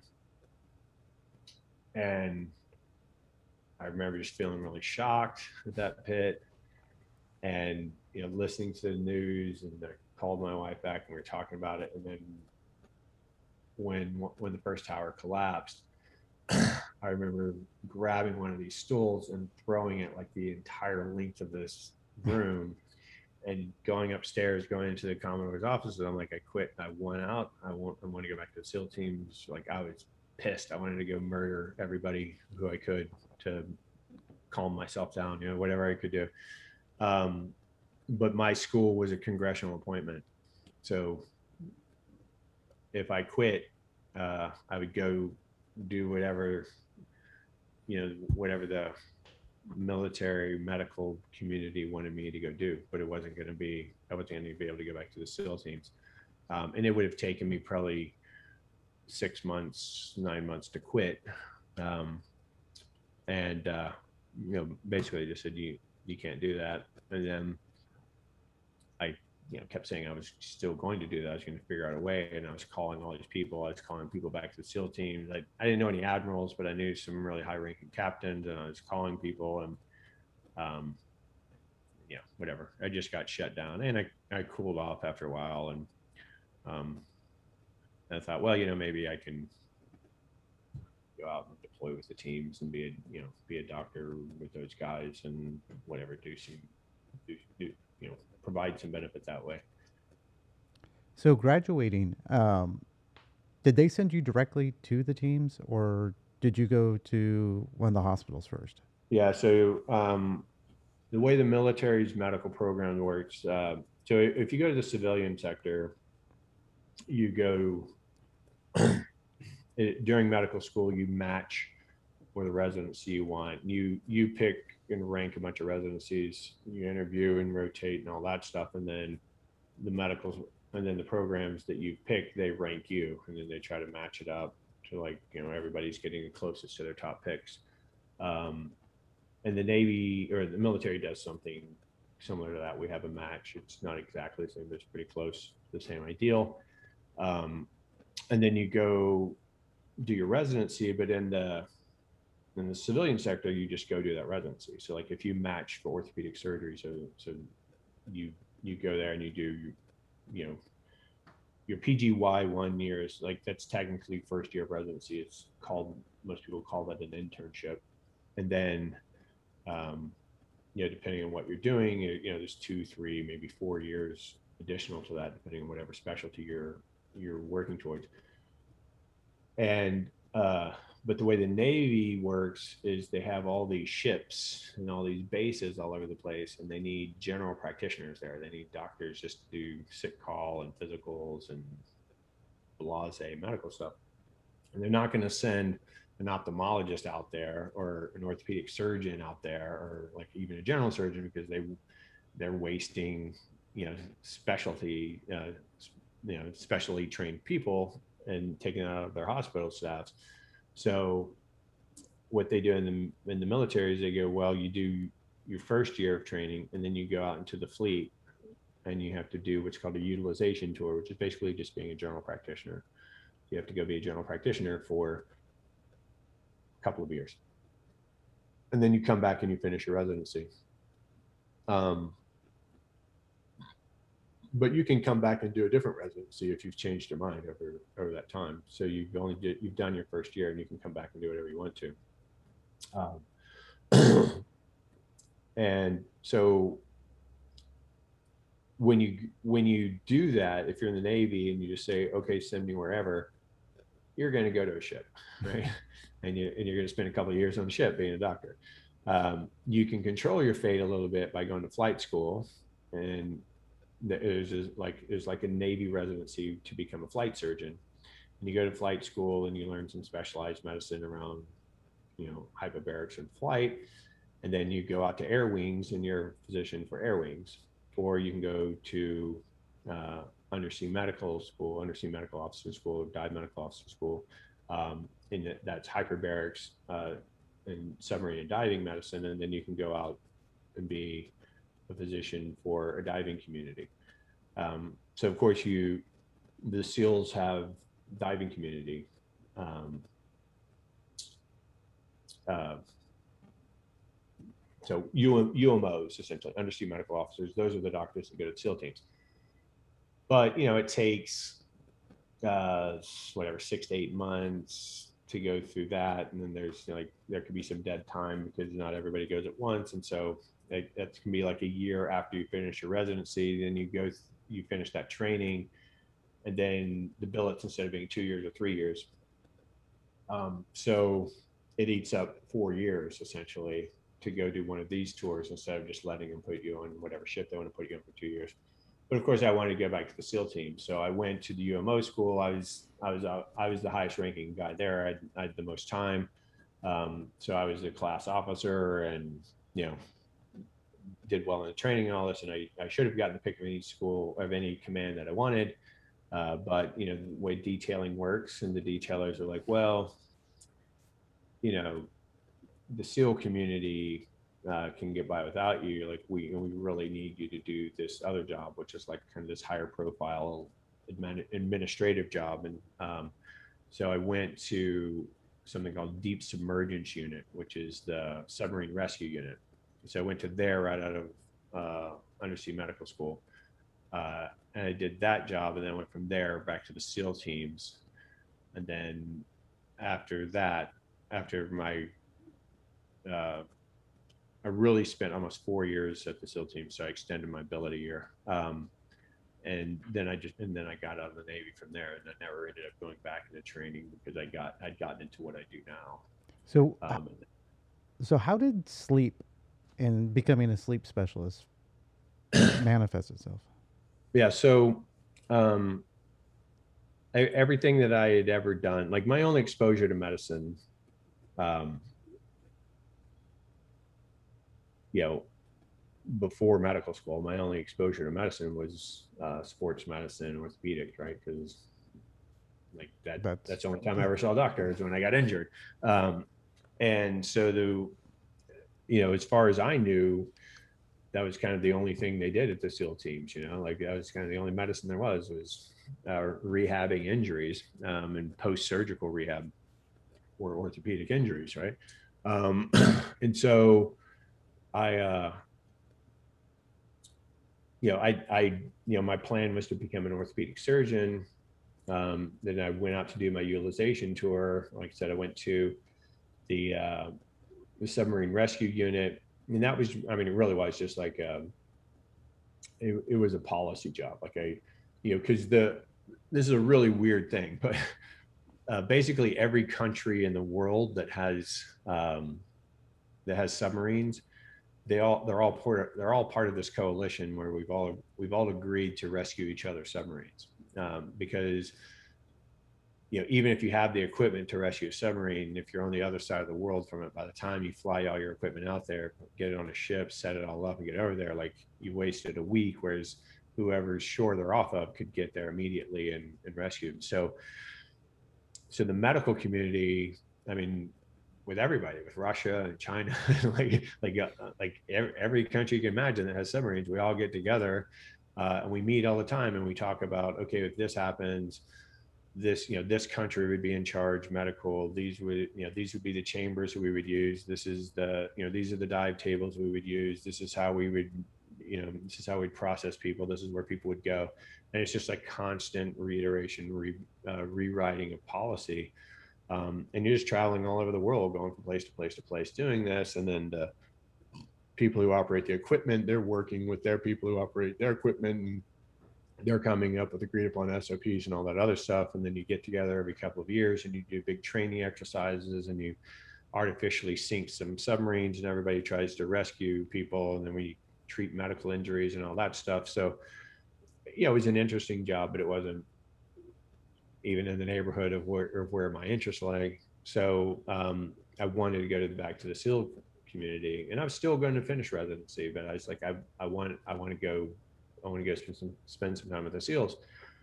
So I went I went to the SEAL teams after that, and um, I got there when they just funded the sports uh, what they're calling the tactical athlete program at the time, but it was basically a sports medicine program, and uh, we had the funding to build our very first uh, sports medicine facility. And you know this surprised a lot of people because this was 2009, and um, we didn't have any of that stuff you know, everybody would think that SEALs get treated like professional athletes or, or at least college athletes or something, but nope. Like we just, you know, we had a we had a trailer with an athletic trainer out there who did some stuff, but mainly they they'd have to drive, you know, drive across the bridge and go to the hospital to get any kind of treatment. Um, and we didn't have like really anything in house, and so we built this. You know, of course, I'd worked in I'd worked at the San Diego Sports Medicine Center for six years while I was uh, while I was in college, and then the one year I, took off in between college and medical school, um, and uh, so I like I was a perfect fit for it. So they put me in charge in building out this facility, um, and you know supervising. And obviously, I wasn't physically building it myself. Um, and then, uh, you know, and then we formed a group of people, and we hired uh, we hired our very first strength and conditioning coach. We hired our very first physical therapist, and we hired our very first nutritionist, and we hired our very first athletic trainer and um, exercise physiologist, and all this stuff. And then, you know, we built this great uh, clinic. There was a rehab clinic. Then we had a little off a little hallway in between, and then we had a rehab gym on the other side. That was for people who were uh, more advanced than rehab, but not quite ready to be back in uh, and platoon level training. So they're training over on this other side. It's a, little bit of a accommodative gym. Um, and then, you know, we had ortho rounds coming through and we had pain rounds coming through, had acupuncture and chiropractic and all this stuff. And then we had all these brilliant people. Like we hired great people. We hired people from, you know, the Olympic Training Center and from professional sports teams and, um, you know, high level college programs, Division One college programs, and all this other stuff. So we had great, great help. Um, and so then I was like the most useless person around because everybody that I hired knew orders of magnitude more than I did about whatever they did. And you know the way the military works when you're the dumbest guy around, put you in charge, right? So then like, you know, now you supervise this facility. I'm like, okay. So now I'm supervising a facility. Like, what what the hell do I know about supervising anything? Like, I've been an enlisted SEAL and a doctor. like, okay, yeah, let me supervise a bunch of experts who know more than I'll ever know about their field. Um, and uh, but my office was in that hallway in between those two, in between the gym and the rehab. and um, you know, I'd been a SEAL.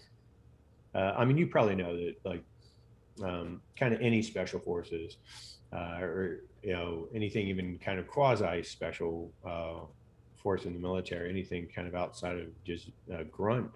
Um, the, the worst thing you can do for them is to take them out of their job, right? Oh yeah. Put them on the put them on the bench. Like they'd they'd rather you you know take three ranks away from them, take their money, take their truck, uh, you know, keep them away from their family for a year. Like anything over taking them off their out of their platoon, put them on the bench. Like that's the worst thing you can do oh, to them. And of course, medical providers can do that. So they don't trust medical providers and they just lie. And so when they have to go do their physicals, it's like, I'm great. Everything's fantastic. Like, yep, everything feel great. Moving, you know, like I, I don't even know what all they do, but you know, they would probably jack themselves up with all kinds of anti-inflammatories and do whatever they had to to feel great for that you know for that hour so they so they could just get passed on. Um, but of course they have problems. They just they're not willing to talk about them because they think they're going to get disqualified. So you know me being a me being a seal they trusted me. Uh, well that that probably wasn't enough but i'd i'd been a seal recently enough to where there were a lot of there are a lot of seals at the at that command that i was at who i had been a seal with who i'd been through SEAL training with, I've been in platoons with, I've deployed with. Um, and so, you know, those guys trusted me. I had a good reputation with them. And so they'd come talk to me and say, Hey, let me tell you what's really going on. And they come in, you know, peek behind the door, shut the door, sit down and go, Hey, let me tell you what's really going on. Like in a whisper voice, right? Um, and they're like, uh, you know, my motivation just really sucks right now. And they're, they're SEALs, they're still getting up, they're still doing it, they're still doing their job, right? They're not gonna curl up and ball and suck their thumb, but like they don't feel like doing it. It's drudgery. Every moment of their day is drudgery. Uh, body composition shift. They're working with the nutritionist. They're working with the strength and conditioning coach. They're doing everything just right, and they're getting fatter and they're getting weaker. They're losing muscle. They're really moody. They're short with their kids. They're short with their wives. They're snappy at work. They're getting in conflict all the time at work. Uh, they're super emotional. Like they go from really angry to like depressed to really sad, like super fast all over the place. Sex drives down. They ache all the time. Like every joint in their body aches. They can't remember anything. They're like their focus just gone. They can't think of words they're trying to say when they're talking. They walk in a room. They're like, I don't remember why I walked in the room. I turn around, I walk back out. I remember, I turn around and walk back in. I forget again. I do this like four or five times and they'll just be like, I, but I don't know, doc. Maybe I'm just getting old, right? And I'm like, yeah, you're 32. I mean, it's over, right? Like, just might as well start digging your grave now. You're old. Um, but honestly, I didn't have any idea because I was a Western trained medical physician, and primarily I was like a sports medicine ortho guy. Like I, I knew like carpentry work for the body. I, like, uh, you know, but all I'd learned in medical school is how to you know in medical school and uh, residencies like all i all i'd ever learned is how to recognize diagnose and treat disease. And these guys didn't have any diseases right? Because even though they're saying these things about themselves like by their assessment they're bad in all these things. But like what do you think their body composition was compared to the general population right? They're still really lean very muscular very athletic very capable guys compared to everybody else but by their standards, they're not performing how they should, right? And so their motivation sucking is still probably their motivation is still probably twice as good as most people's motivation, but it's still sucky for them, right? So, um, you know, I just listened. I was like, I don't know. I'll take a bunch of notes. I'll listen, and then another guy would come in and tell me the same story. Another guy would come in and tell me the same story. Another guy would come in and tell me the same story. And I'm like, I don't know, man. Like I, uh, I don't know um, but I'll listen. And I, you know, started going, well, let me just, anytime I had an idea, like, okay, well, let me check. And so, you know, if I had 20 guys who had already come to my office and I came up with an idea, I'd call all 20 of them and say, hey, can you go do this test? Like, I'm thinking maybe a test something to do with this. And then when I had 100 guys, if I came up with a new idea, I'd be like, send 100 guys over there to do the test. Um, and I just started kind of shotgun approach, like just testing everything I could possibly think of. I thought, you know, this is eight years of combat. Maybe it's like that shell shock or combat fatigue or all these sort of nebulous things you've heard of in other wars. I didn't really know what those things were, but maybe it was that, whatever that is. Um, that that kind of led me down the road uh, of looking into more to like integrative functional medicine stuff because um, that's really root cause uh, performance based stuff and a lot of lifestyle stuff and a lot of nutritional stuff and not so much medicine disease type things. Um, so i'm like all right well maybe you know maybe there's some adrenal insufficiency here like you know they're they're running around with too, you know too much too much adrenaline all the time. They've been running off their adrenals for eight years and their adrenals are kind of shutting down. So i'm doing adrenal support stuff for them and uh, like you know uh, something called Myers cocktails, which are like IV vitamins and minerals, essentially. Um, you know, giving them some uh, supplements to improve adrenal function, taking over their adrenal function by giving them cortisol for a couple of weeks. Uh, you know, um, they all turned out to have vitamin D3 deficiency. That was kind of at the beginning of the big craze of vitamin D3 deficiency. So I'd given them that. Um, yeah. And, but what I was finding when I was doing their labs, when I started shotgunning their approach was they all had low testosterone. They all had low growth hormone. They all had low thyroid function. They all had poor insulin sensitivity. They all had high inflammation and high oxidation. And if I would have given those labs to a colleague of mine and said, Tell me how old you think this guy is and what he looks like, and they would have said, He's 55 to 60 years old, he's 30 to 40 pounds overweight, and he's got metabolic syndrome, he's pre diabetic. And I'd say exactly wrong. He's 28 years old. He has six pack abs. He's in great physical condition. He eats a perfect diet, da, da, da, like this.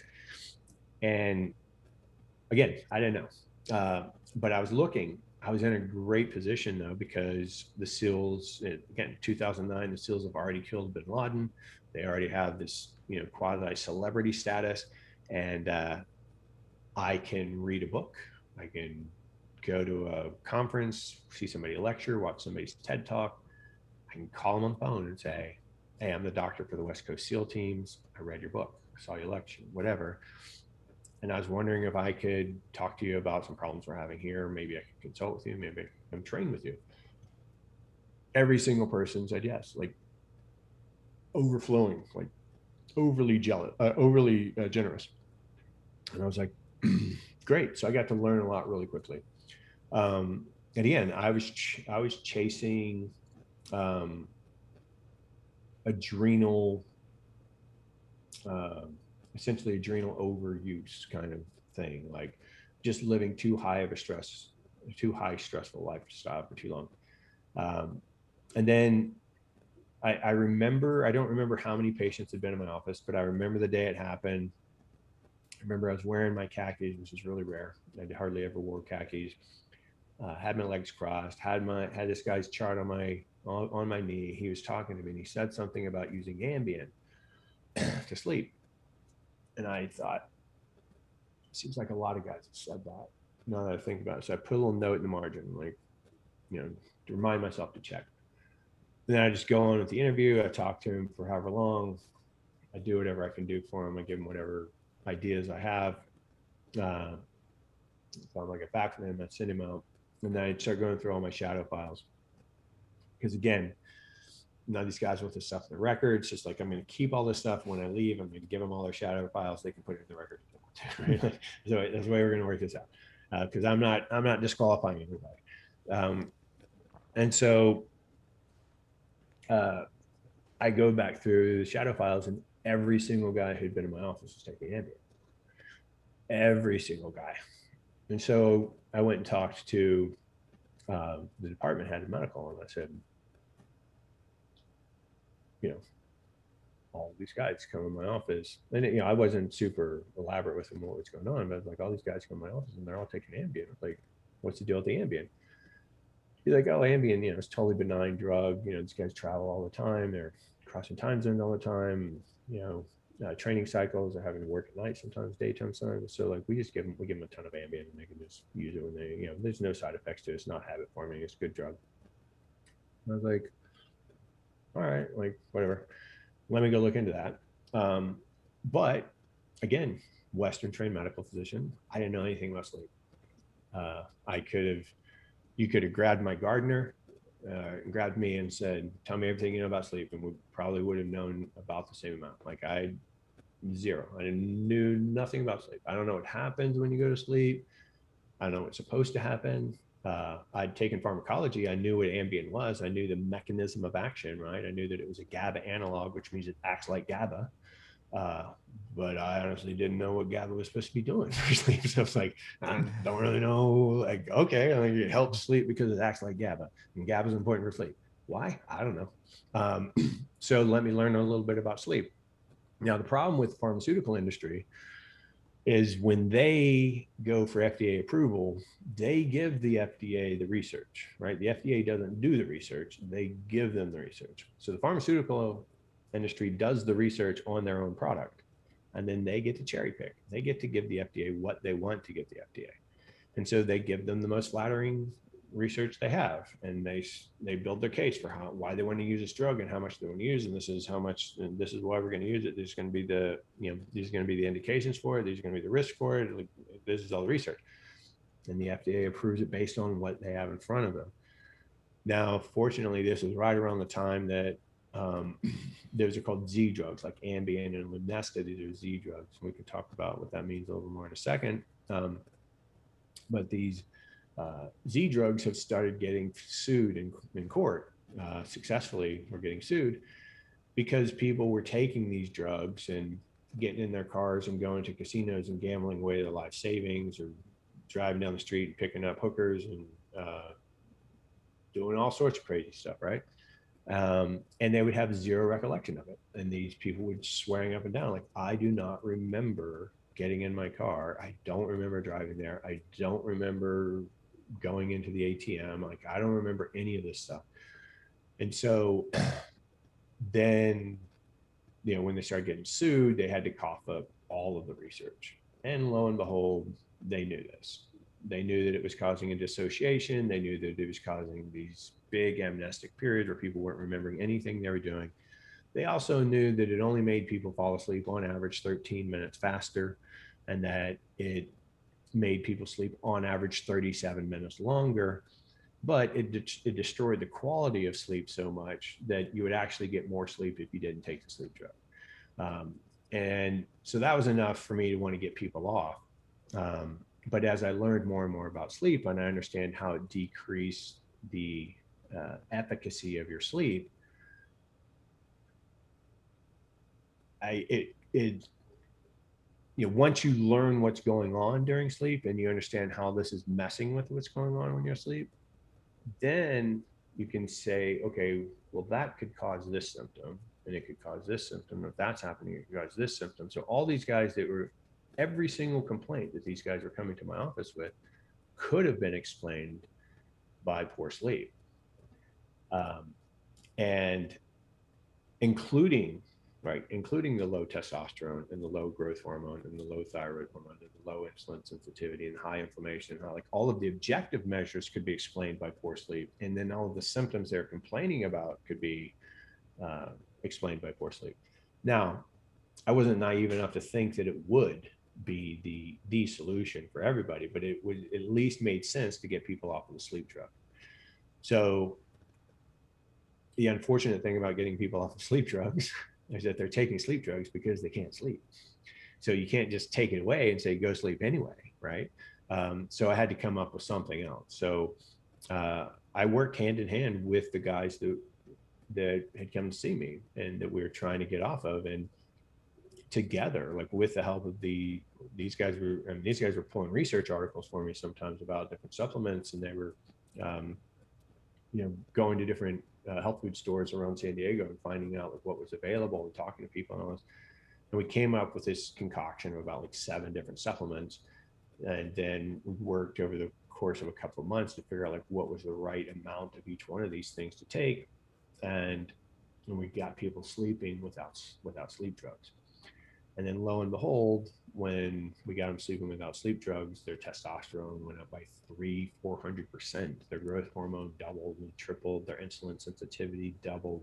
Their inflammation became undetectable. Their oxidation dropped in half. Their thyroid function came back. Their adrenal functions came back. Their mood, like all their mood issues went away. The, like, their motivation issues got better. Like all of this stuff. Know, and again, it wasn't a 100% cure for 100% of the people, but it was huge. It was huge. It was like 85% solution for 85% of the guys. Like it was the best therapeutic thing you could ever imagine. Um, now, of course, I was a Western trained medical physician. So before before we got into that, what I wanted to do was just fix it, right? Like, well, they're low in testosterone, we'll give them testosterone. Their thyroid's low, we'll give them thyroid. Their insulin sensitivity is low, I'll give them like a type 2 diabetic drug that's going to improve their insulin sensitivity that's what I wanted to do. Now, intellectually, I knew I couldn't do that because that would disqualify them. You can't give somebody a medication that they're dependent upon and then have them do the job of a SEAL. What if they can't get their medication? like, right. you know, they're right. they're out they're out in the field, they're out in the combat zones. while. they can't get medication. Now they can't do their job anymore. That's that's a no go. Um, so that's what I wanted to do. I couldn't. So I was really relieved when this little experiment worked better than I thought it would. And so then I, I, I mean, I'm just like, got sparkles flying out of my head. I'm so excited about this. And I'm running around to all the leadership offices. I'm going around to all the COs. I'm saying, hey, there's there is a crisis at the SEAL team and it's sleep, right? Right. And and I mean, come on, this is an organization that part of the screening process is you go a week without sleep. These are not people who value sleep. These are not people who think sleep is important. And uh, and I didn't want to talk about the soft stuff, right? I didn't want to talk about motivation and mood and memory and cognition and attention and all other stuff. That's all very subjective. I wanted to talk about the labs. I'm like, look, testosterone, growth hormone, DHEA, thyroid, uh, insulin sensitivity, inflammation, oxidation. They know what these things are. They they know what those should be they and they're still SEALs, even though they're they're COs, they're still SEALs. They still consider themselves SEALs, and like they they still need to be capable, and they still want to be strong, and they still want to be athletic, and so they see all this stuff. They know this stuff, but they they thought I was crazy. Like literally thought I was crazy. Like like this guy's a quack. Like uh, um, I I mean I I remember no hyperbole. Four guy four guys in the office. Uh, a CEO and XO a master chief and a, and a senior corpsman laughing me out of the office, cracking up, hysterically laughing, saying, "Yeah, doc, I think you need to go back to medical school. like, yeah, people's hormones are bad because they're not sleeping. Right? Okay." Uh, and you know, and in fairness to them, there wasn't any information about that anywhere, anywhere that wasn't out there. Um, a few little obscure, strange things on PubMed if you dug deep enough, but there weren't people. People weren't talking about sleep. Uh, people weren't talking about sleep hygiene. This is before the kind of the big media craze around sleep. And um, after like a few of them bought in, and then uh, they would let me work with their guys and they'd have great results. And then we had these pre and post retreats for the SEALs. So before the SEALs would deploy, we'd take the SEALs and their families out to a resort spend three days out there, give them a bunch of classes about like, here's what you're going to experience when you're deployed, and here are the resources for your family when you're deployed. Here are the resources for you when you're deployed. Blah blah blah. Like these are the these are the trials and tribulations of being a deployed SEAL and things you're going to go through. And, and we'd bring in guest lecturers. We'd bring in like uh, Lieutenant Colonel or uh, uh, yeah, Lieutenant Colonel uh, Grossman uh, on like on killing and that uh, to talk about the psychology of this for you know the new guys who haven't been deployed yet, haven't, they haven't been in combat yet. Um, would bring in uh, you know people who could talk about uh, the trials and tribulations of the wife, you know, if they're being scared with their husband deployed and da da da, da he could die, it's dangerous. Um, we bring in people to talk about nutrition, like how to take care of yourself when you're over there. People to talk about smart periodization with your workouts. You know, we bring in and you know we kind of wanted a little celebrity status around it so it wasn't just like the guy down the hall from them telling them something that they tell them all the time like you wanted like some sort of somebody with some panache and so we would hire these uh, people who were really well known um, and in those days it was guys like robb wolf and chris kresser and john welbourn and um, uh, Chris Masterjohn and you know like all like all these sort of well-known health and wellness thought leaders in, at the time and we and they'd give all these lectures. And of course they they would pay these guys but they had me for free. Because that like i'm the name so they're like well you're going to go talk about sleep. And so i would be i would get up there and i would talk about sleep and hormones um, about 80% of the lecture and about 20% of the lectures i talk about nutrition.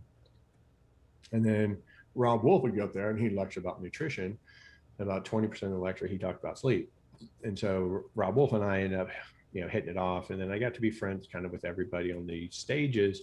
And they all had podcasts and they were all doing health symposiums all over the world. And they started inviting me to do lectures that they were at. And I was taking leave and going and doing lectures and I was going on podcasts.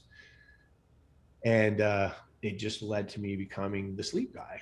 And, um, and, and, you know, it's, it's about 30% of what I do as a physician, but it's uh, about probably 95% of the people who know of me know know of me because of sleep. Um, you know, but when I work with clients, I you know I do sleep, nutrition, exercise, and mindfulness, stress mitigation, whatever you want to call that, kind of the last pillar. uh, and I work on lifestyle and hormones and peptides and supplements and nutrition, like all that stuff when I when I work with people. But um, you know, I just became the sleep guy, and I just got hired after lecture after lecture, law enforcement, DOD, DOJ, you know, whatever, professional sports teams, college teams, trucking companies, you know, whatever, like anybody who had an interest in, um, you know, the, either the performance or the safety around sleep you know, like the, obviously the trucking industry and airlines and you know all that. It, you know, it's uh, shipping, all of that stuff. Uh, you know, sleep's a big issue around safety, you know, workplace safety and uh, accidents and all that other stuff. And then uh, the you know all these the sports teams and um, LEOs and DOJ and all that stuff. They're they're more interested in like performance, longevity, and all that stuff. But um, yeah, I mean that that ended up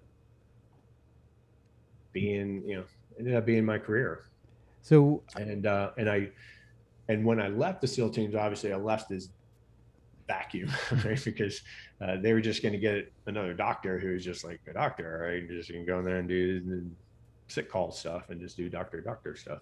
Um, and all the seals kept haranguing me to make a product out of the sleep supplement because they're you know this is pre amazon being a real thing you know? So they were having to drive around all these different stores to buy this stuff and you know this was in a 90 day supply and that was a 30 day supply and this was a powder and that was a liquid and these were capsules and it was you know cumbersome hard to travel with and they're like just make a product just make a product make a product so i kept trying to work with companies to like make a product for me um, but the supplement industry is a really smarmy industry and um, i just couldn't find anybody that i trusted or wanted to work with so i was like you know I'll take. I, I, I did a year of brick and mortar practice in in California. The first year I got on the Navy, I was like, you know, I'll take a year off of brick and mortar.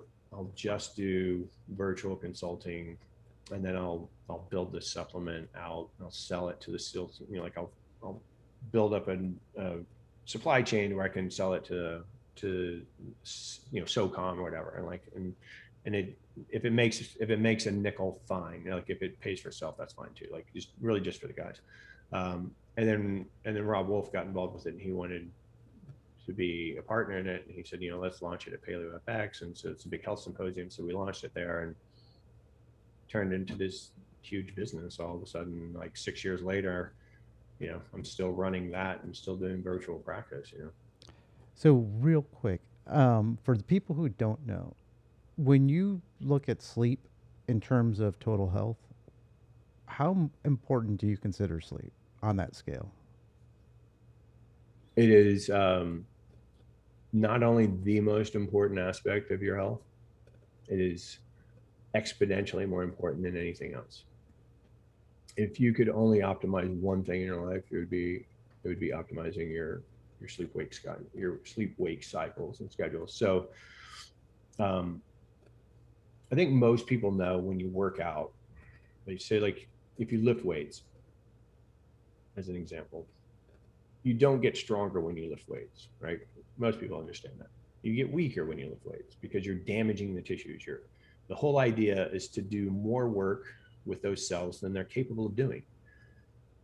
And when you push them past their limits, they actually get damaged. And if you really push them back to the limit, you actually kill them. You actually rupture muscle cells. Um, uh, you know, this is where uh, you know you can get you can get into trouble with doing uh, something like CrossFit too heavy. There's something called rhabdomyolysis where you actually have all these proteins from these ruptured muscle cells spilling out into your blood, and then they can clog up your kidneys, and you can literally die from kidney failure.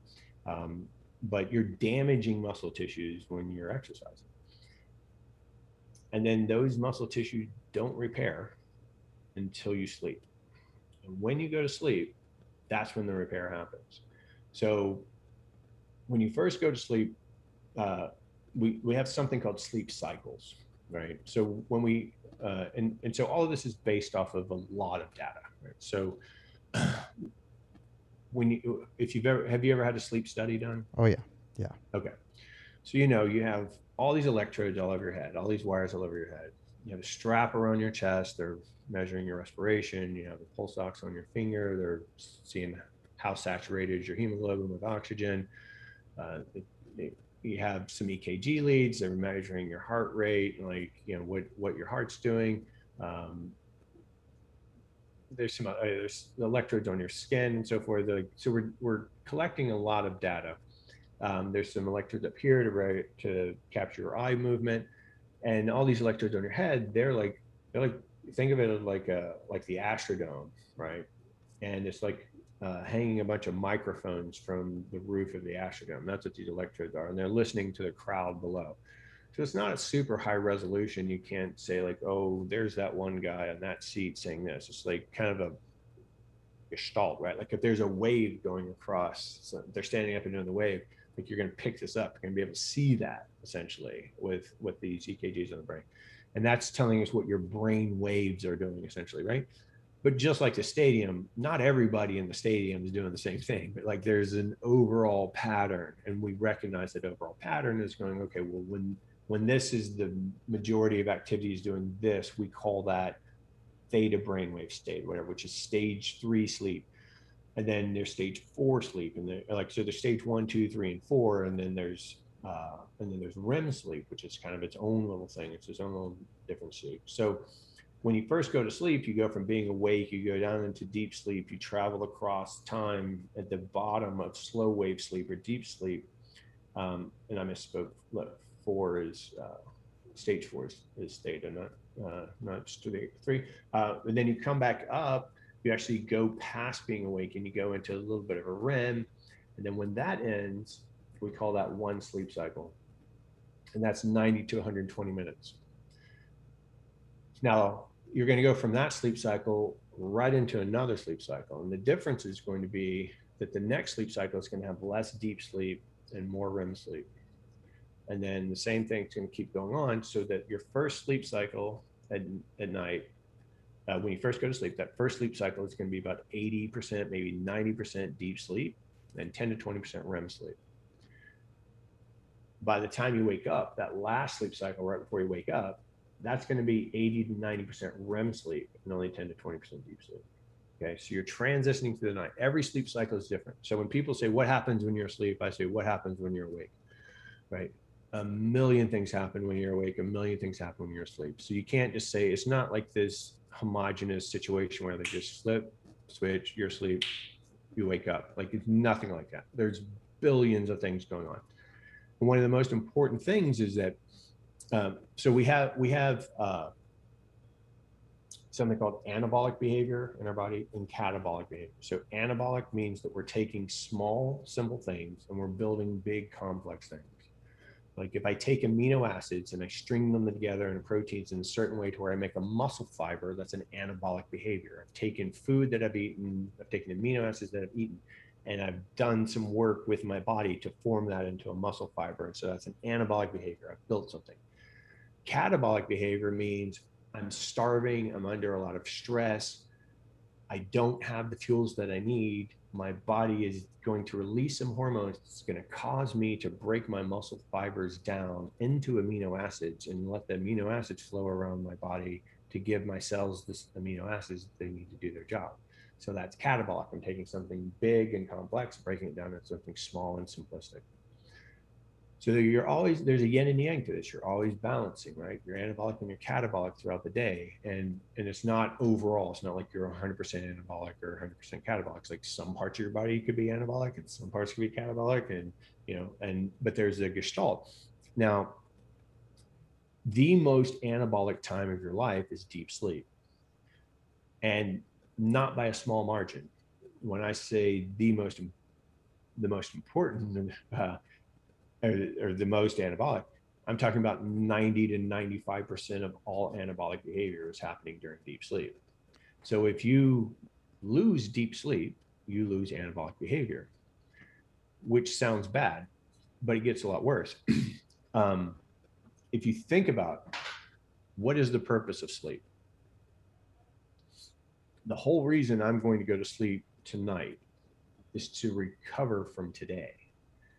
And right. in recovering from today, my brain and body is going to use today as the template. 16 hours that I've been awake today, I'm going to go to bed for eight hours.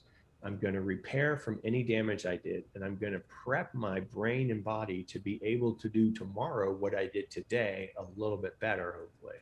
And then I'm going to have some growth, right? I'm going to be a little better. I'm going to get a little improvement every day.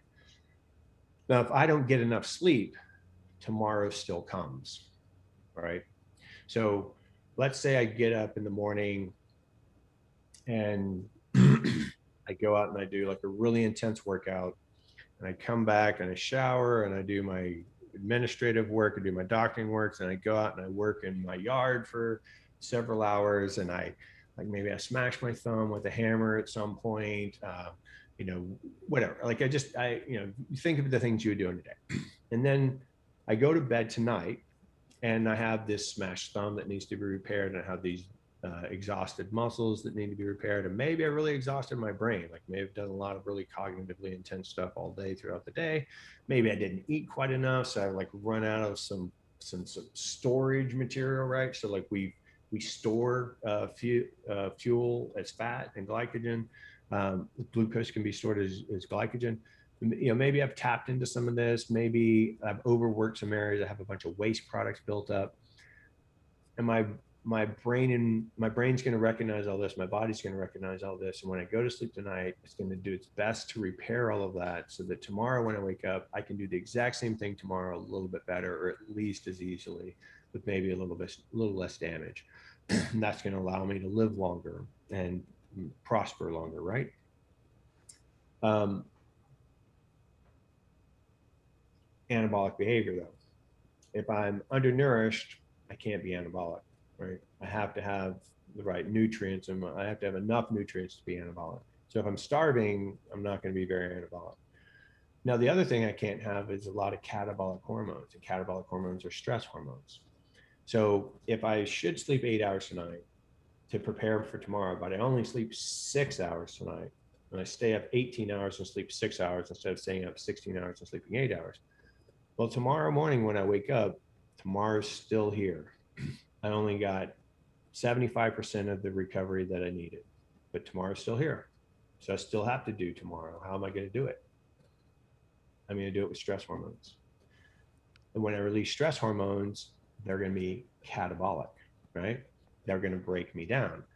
They interfere with my brain activity, interfere with my strength, my endurance, my coordination, my mood, my appetite. Everything about me is impacted by my stress hormones maximum amount of stress hormones is fight or flight. You've probably heard of that, right? Right. Fight or flight means there's something that's going to kill you right now. Only thing that matters is getting away from that. Nothing else matters. Nothing matters except getting away from that threat.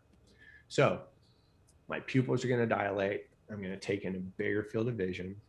My lungs are actually, a bronchial tree is going to dilate so I can take in more air. I can take in more oxygen. I can take deeper breaths. My my blood glucose, my all my stored glycogen, it's all going to get dumped immediately out of my liver, out of my muscles, everything. I'm going to get all of this blood glucose into my or all of this glycogen into my bloodstream, so I have really high blood glucose, so I can have all the energy I need. My blood pressure is going to go up. Uh, my heart rate's going to go up my muscle tension is going to go up. You see somebody getting ready to fight, you see them getting stiff. Yeah. That's neuromuscular tension. My nervous system is tensing my muscles. My reflexes have gotten faster. My pain threshold has gotten higher. All of the capillaries in my skin have completely contracted so that if I get cut, I'm not going to bleed or hardly bleed at all. So I'm going to be able to run faster, jump higher. I'm going to be, I'm going to have faster reflexes, better vision, better hearing, better sense of smell, everything is going to be heightened. I'm going to be superhuman. So why don't I run around like that all the time? If I'm capable of doing that, why don't we? Why don't we just always do that, right? well, we don't always do that because it's catabolic, and you can only live for maybe two days like that, probably, and then you die. You just like you essentially just eat yourself. And there's a lot of stuff that isn't happening because again, nothing matters if you don't get away. So it doesn't matter if you can fight off infection or parasites, right?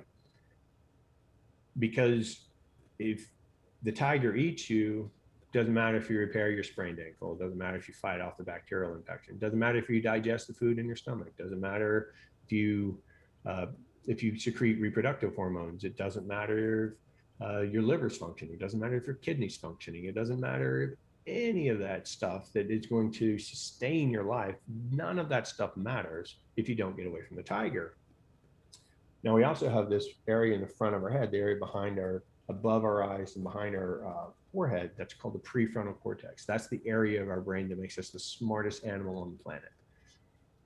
And that's a simulator. And what it allows us to do is think through things that we don't actually have to try, right? So I could come up with some really stupid idea and say, hey, like, why don't we ride our motorcycles down the street while juggling chainsaws, right? And you don't have to you don't have to entertain that to know that's a dumb idea. And you're like, no, I don't want to do that because and you don't have to try it first, right? You just you can just go, I can simulate that. That's a bad idea, right? For something more simplistic, like your boss pisses you off, you want to flip them off. All right, let me think about how that's going to play out. Nope, it's not going to go in my favor. I'm not going to do it, right? I'm going to go home and I'm going to cuss him out to my friends, right? Um, so th- it's our simulator. Well, when we're in fight or flight, that shuts off because you don't want to think when you're in fight or flight. You want to react. It wants you want to be completely impulsive because any thinking takes too long, right? You Right. have to react to the situation and you're going to get away from it, which is why, uh, which is why combat training matters so much, which is why you have to do everything 10,000 times because you're not going to think when it actually happens. You know, you, if somebody's in a gunfight and you ask them for their phone number, they'll probably just shoot you, right? Because they, they don't, they don't know your, they don't know their phone number. They don't even know what the hell you're talking about. Um, because that area of their brain isn't working, right? they're they're in their lizard brain they're in survival they're in fight or flight so all that shut down now the exact opposite of that is deep sleep so your body's useless your heart rate's low your blood pressure's low your eye you aren't even using your eyes you aren't using your you aren't using any of your real senses right at this at this time. You're relaxed you're digesting you're producing reproductive hormones you're producing anabolic hormones, you're repairing damaged tissues, you're fighting off infection, you're flushing out waste products, you're storing fuel instead of using fuel, you're partitioning things off, you're storing fat, you're storing some glycogen here, you're giving nutrients to all the cells, you're getting rid of all the waste products, you're getting ready for tomorrow. If I don't prepare completely for tomorrow and I wake up with a deficit, I'm going to use stress hormones to give me a little more energy to get through the day that's going to impair my brain functioning a little bit, right? Because I'm a little closer to fight or flight. Like I'm nowhere close to it, right? Like I'm maybe uh, five percent closer to fight or flight than I would be ordinarily. Now, stress hormones get a bad a bad rap eh, in that oh, you want no stress hormones. No stress hormones means you're dead, right? Stress hormones actually keep you awake and alert and alive in proportion to your environment. So when you first wake up in the morning, if you go to sleep in a completely dark room and you don't have an alarm clock and there's no noises or anything to wake you up, you're going to wake up if like if if you've been getting good sleep, you're going to wake up. Well, you're going to wake up after you've gotten as much sleep as you need, really, right? So if you're if you've been sleeping well for extended period extended period of time, it's going to be about 8 hours. You're going to wake up at about 8 hours without anything waking you up right? Nothing external is waking you up. There's no light, there's no sound, temperature isn't changing, nothing's changed. Why do you wake up? Well, you wake up because your stress hormones. The lowest stress hormones you will ever have is during deep sleep. That first sleep cycle, that hour, hour and a half that you're in deep sleep, you have almost no stress hormones in your body. You're maximally anabolic. So the exact opposite things that's happening in fight or flight, exactly the opposite. And then every sleep cycle you go through, you've repaired more, you've partitioned off fuel, you've emotionally categorized events you've taken things from short-term memory to long-term memory like you you're again you're using today as the template to be better for tomorrow and as you repair and as your body gets more and more capable gets closer to being ready for tomorrow your stress hormones are going to gradually increase to a point of being enough stress hormones to wake you up So let me ask you. Oh, sorry. I was going to ask you this real quick. Um, right now, sleep's kind of becoming a commodity. Uh, I wear an Oura ring. People talk about blue light blockers. Apple's advertising. Does any of that data that you get correlate to anything for real? Like, do blue light blockers really matter as much as they make them, or the data I get off my Oura ring to what you're saying right now about sleep cycles? Um, there is a correlation, right? It's not it's not ideal. The Oura Ring is the most accurate device that I'm aware of. Um, and I and I'm I'm friends with Harpreet, the the founder of it, but I'm not an affiliate. I have no financial interest in it. I think it is a great product. Um, it would be the preferred product uh, for anyone. For, if if anyone asked me what they should what they should have, I would recommend that. Uh, the next my next choice would be Garmin. Uh, but with all of these things, um, they're comparing you to uh, an an i an ideal avatar, right? So it's it's an algorithm, right? And so not everybody fits into the algorithm exactly. So use them for the gestalt. Don't chase the number, right? So you it's the generalization. So what you can use it for is consistency. So it's great for tracking total time of sleep. It's good for checking. It's great for uh, tracking uh, heart rate variability. We can talk about that in a minute. Um, uh, and it's reasonably good for figuring out um, if you're like how much deep sleep you're getting.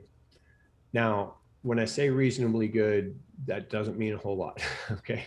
Because uh, I I've, uh, I've I've had um, I've had the Oura Ring tell me that I had 100% of my night deep sleep, which is impossible, and I've had it tell me that zero percent of my night was deep sleep, which is exceedingly unlikely, uh, right? So um, they're they're not perfect, but they should work consistently for you, right? And so you can figure out with a little addition to this, right? So you can figure out so like you wake up and it gives you a sleep score of 80 uh, and then you you do just like a little bit of journaling because you're really trying to dial in your sleep. And so um, you do a little bit of journaling maybe about like what you ate the day before what you eat during this day like how you felt like anything that really stood out to you.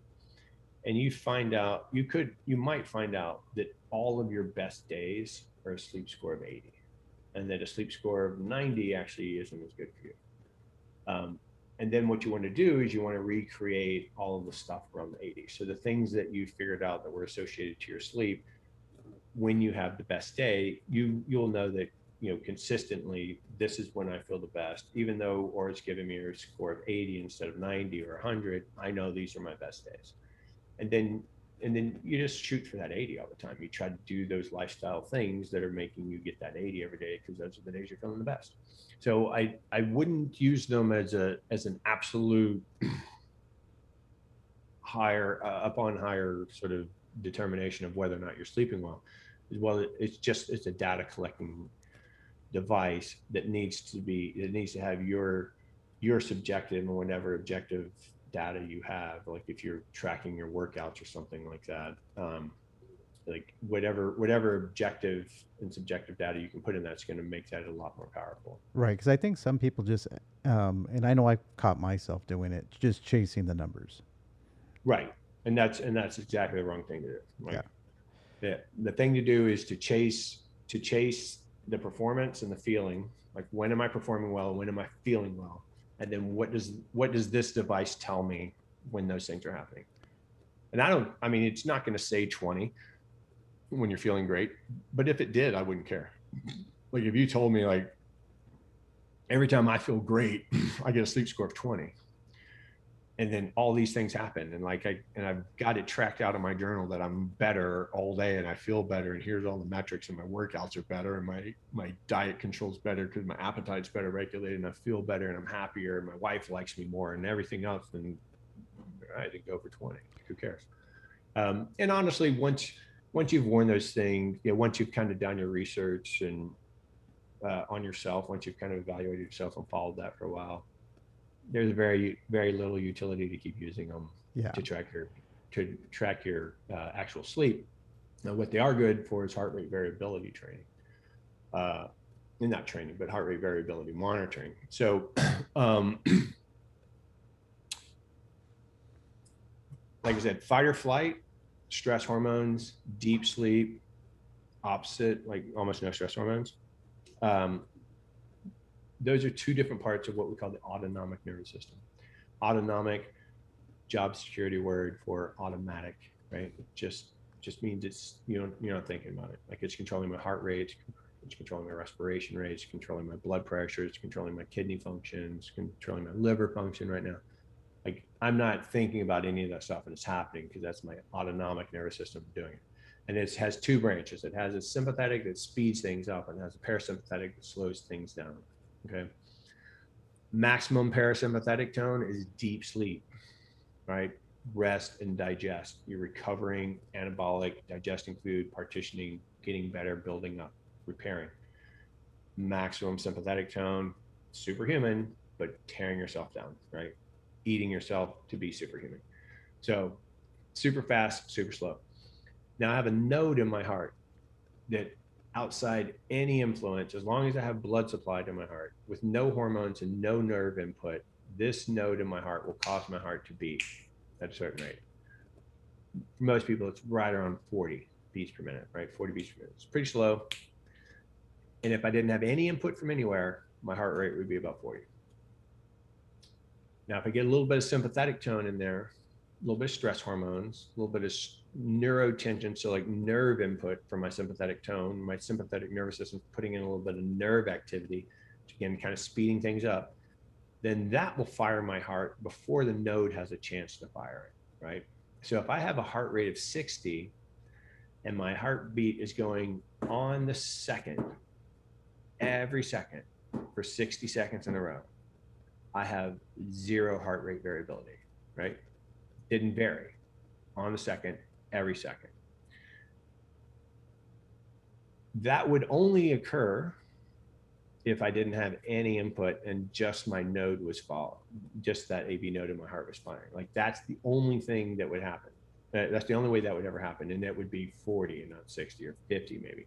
But if I didn't have any input from anywhere, just that node to fire. I get any sympathetic tone, it can fire it before the node. So if I have a balanced autonomic nervous system, meaning that my sympathetic nervous system and my parasympathetic nervous system are working, they're both doing their job. And one of them's more important for certain function of my body than, uh, than the other one, but they're both doing their job. And so sometimes the sympathetic nervous system causes my heart to beat a little faster. And so it beats a quarter of a second before the second. And then sometimes I don't have any sympathetic tone and my AV node fires itself and it's a quarter of a second after the second. But I still end up with a heart rate of 60, but it might be a quarter of a second before the second, quarter of a second after. So it's a half a second variability. That's going to be a heart rate variability of like 100, right? That's going to be like the maximum because it's completely balanced. So, as I said earlier, if I don't get enough sleep, if I don't recover enough, how do I do tomorrow? What do I do? I didn't repair. I don't have enough fuel. Don't like I'm in a deficit when I wake up, but I still have to do today. How am I going to do it? More stress hormones, sympathetic hormones, sympathetic tone, speed things up, cause me to mobilize my fuel sources, make me feel more energetic, increase my heart rate, give me a little adrenaline, make me a little amped up, make my brain a little more stimulated. That's how I'm going to get through the day when I'm fatigued and not repaired enough. So my heart rate variability is going to be low because my sympathetic tone is going to be firing my heart every time instead of my node firing. I'm going to be sympathetic dominant. That's a bad time to work out. So if I only slept five hours and I wake up in the morning, even if my heart rate's 60 and I have a, and I have a heart rate variability of almost nothing, that means that my sympathetic nervous system is firing the thing the whole time, right? Right. Um, which means that I'm not balanced, which means I'm not repaired, and if I'm not balanced and repaired, I'm catabolic. Why would I work out? If I go and work out, I'm just going to damage myself more and I'm going to need more stress hormones to get through it. I'm going to be more catabolic and I'm actually, it's counterproductive. Now, when I say work out, I'm talking about goal directed exercise that's dri- driving towards, you know, a certain type of fatigue or certain type of performance. Um, I'm not saying that you shouldn't be active. You should always be active but you just shouldn't shouldn't be strenuous. You shouldn't be putting yourself in a deficit and harming yourself and making it harder to get through your day because you're already doing it in a deficit. You're already walking in waist deep water like don't make it chest deep. No, that makes total sense. So on on all of this, um, got two other quick topics to hit on. Uh, one, so uh, one of the reasons why I have you on is I've noticed for the last year that a lot of veteran friends are having trouble sleeping. Um, overall health of some of these guys are going in the toilet because of lack of activity. But drinking is coming way up with a lot of these guys. And I know just from my own health journey that uh, eating late, uh, looking at the Oura ring, eating late, drinking too much, you can watch your HRV trash, you can watch your Mm. sleep just go nuts. Yeah. How bad is, or wh- let me rephrase that, which is worse, having a late meal or drinking too much in terms of how it affects your sleep? drinking. So uh, the meals vary quite a bit. So there are people who can who can eat really close to bedtime and then suffer no deleterious effects whatsoever. The biggest issue uh, because, as I told you, when you're in deep sleep, one of the things that you're doing re- really well is digesting. So if you have food in your digestive tract when you're in deep sleep, that's no problem. Like you know, that's that's kind of an ideal time to be digesting and using that fuel. Uh, what what can cause problems though is if you've eaten something that's inflammatory, so something that your body doesn't like, and it's going to have it's going to stimulate an immune response to it. If you've over if you've overfilled yourself, right, to where you're like now you're running into mechanical problems, which is actually causing some stress on your body because you have too much food to digest, you've overstuffed yourself. But the most likely thing is that you have poor insulin sensitivity. Uh, when you have poor insulin sensitivity, you just have poor blood glucose regulation. When you're, it doesn't matter what your total blood glucose level is. If it changes too rapidly, your body perceives that as a problem and it'll wake you up. And even if you don't realize it's waking you up, it'll bring you close enough to be waking to where it's destroying your sleep architecture, it's destroying the quality of your sleep, even if you don't feel like it is, even if you don't have any recollection of that. And we see this with pre diabetics. They have terrible sleep, and diabetics with poorly controlled blood glucose, they have terrible sleep. Um, and, and the reason behind that is because the only time any animal on this planet will sleep deprive themselves, other than humans, like we'll sleep deprive ourselves by choice, but no other animal on the planet does that. The only other the only other time a mammal will sleep deprive themselves is when be, is when they're being preyed upon, they're being stalked and preyed upon, or if they're starving, right? So when we sleep deprive ourselves, we have hundreds of thousands of years of evolution telling us that we're probably being preyed upon or we're starving to death. So our brain our brain perceives that as a threat and it changes our brains and our behavioral patterns a lot like a starving or preyed upon animal is. So you increase your stress hormones, make yourself really impulsive. So like you think about it, if an animal lives in an area where its food supply is is gone or nearly gone and it's starving to death, well, it wants to wake up earlier so that it can hopefully get the food before other animals do and stay up later so that it can travel farther during the day to find more food. And you want the brain to be somewhat impulsive because maybe that food supply is going going away forever and you might need to try something new try something that you've never tried eating before so you're going to try some novel foods or you might get really close to humans and go down to you know neighborhood houses and eat out of the trash can whatever it's going to take to survive the stress hormones are going to push that behavior. So it does this, it does the same thing to us. Um, so when we don't get enough sleep our brain and body are are convinced that there's there's danger around or we're starving. And our and our uh, our physiology responds like that right? And so our insulin sensitivity is low because our stress hormones are high. Any change in blood glucose makes it easy for us to wake up. And then during the day any of those changes in blood glucose lead to further stress hormones because it's like it's an immediate feeling of it's an immediate sensation to the brain of starvation kicking in because your blood glucose dropped 100 points even if it drops from 400 to 300 and now that's going to shut off my prefrontal cortex even more. It's going to make me dumber. It's going to make me more impulsive.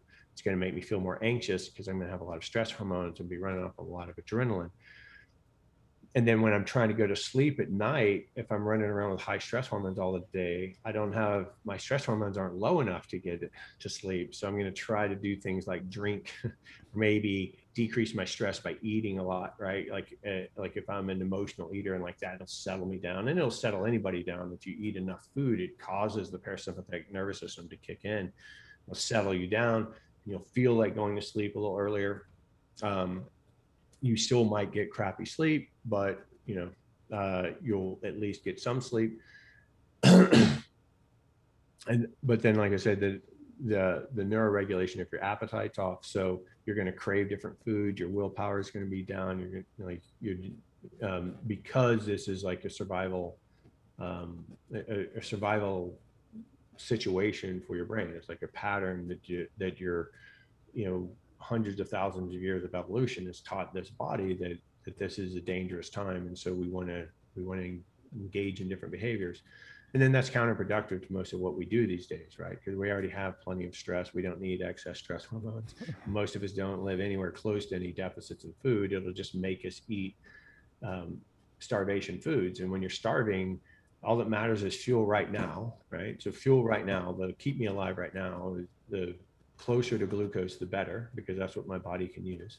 So if I could just eat sugar, that would be great because that that'll give me immediate fuel.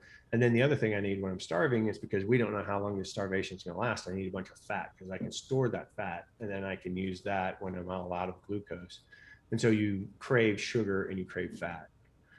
And in America, we came up with a great idea. Said, "Hey, let's just fry some sugar. Let's just fry some sugar, uh, right? Fry fry some sugar and some fat." And oh, that's yeah. what a donut is. And that's why when you're sleep deprived and you're living, you know, when you're living this American hard charging lifestyle where you're not getting enough sleep, you know, 90% of your life, you you wake up in the morning and you eat sugar and fat. So you eat donuts and you you haven't gotten rid of all the waste products in your brain. One of the waste products is adenosine, which is caused by um, breaking down ATP, our energy source. You break that down to adenosine. Adenosine makes you feel tired caffeine blocks adenosine receptors. You drink coffee and you eat fried sugar, and you feel like you can go conquer the day.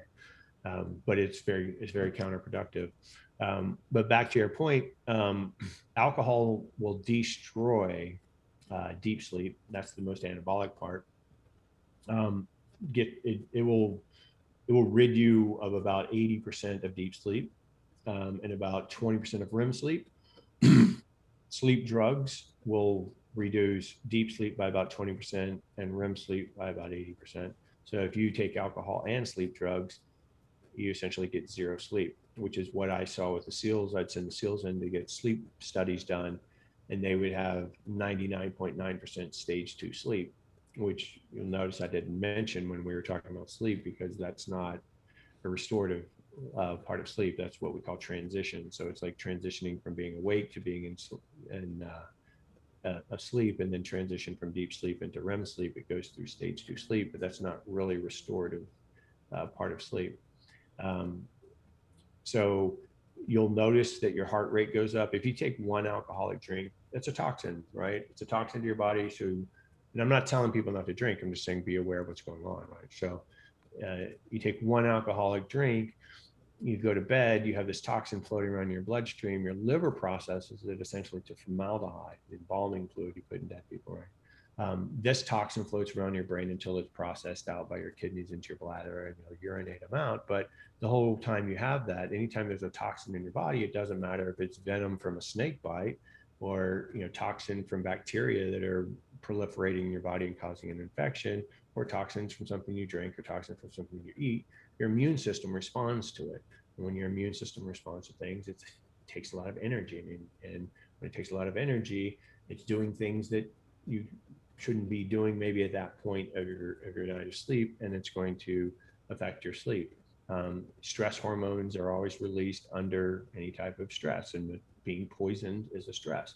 So if you if you'll notice, you take one alcoholic drink before you go to bed, you track your sleep your heart rate will probably be about 10 beats oh, yeah. per minute faster for the entire night. Yeah, and I, I can tell you, I drank five beers last night, and my stuff was all over the place. I think I had a 13 on my score for HRV.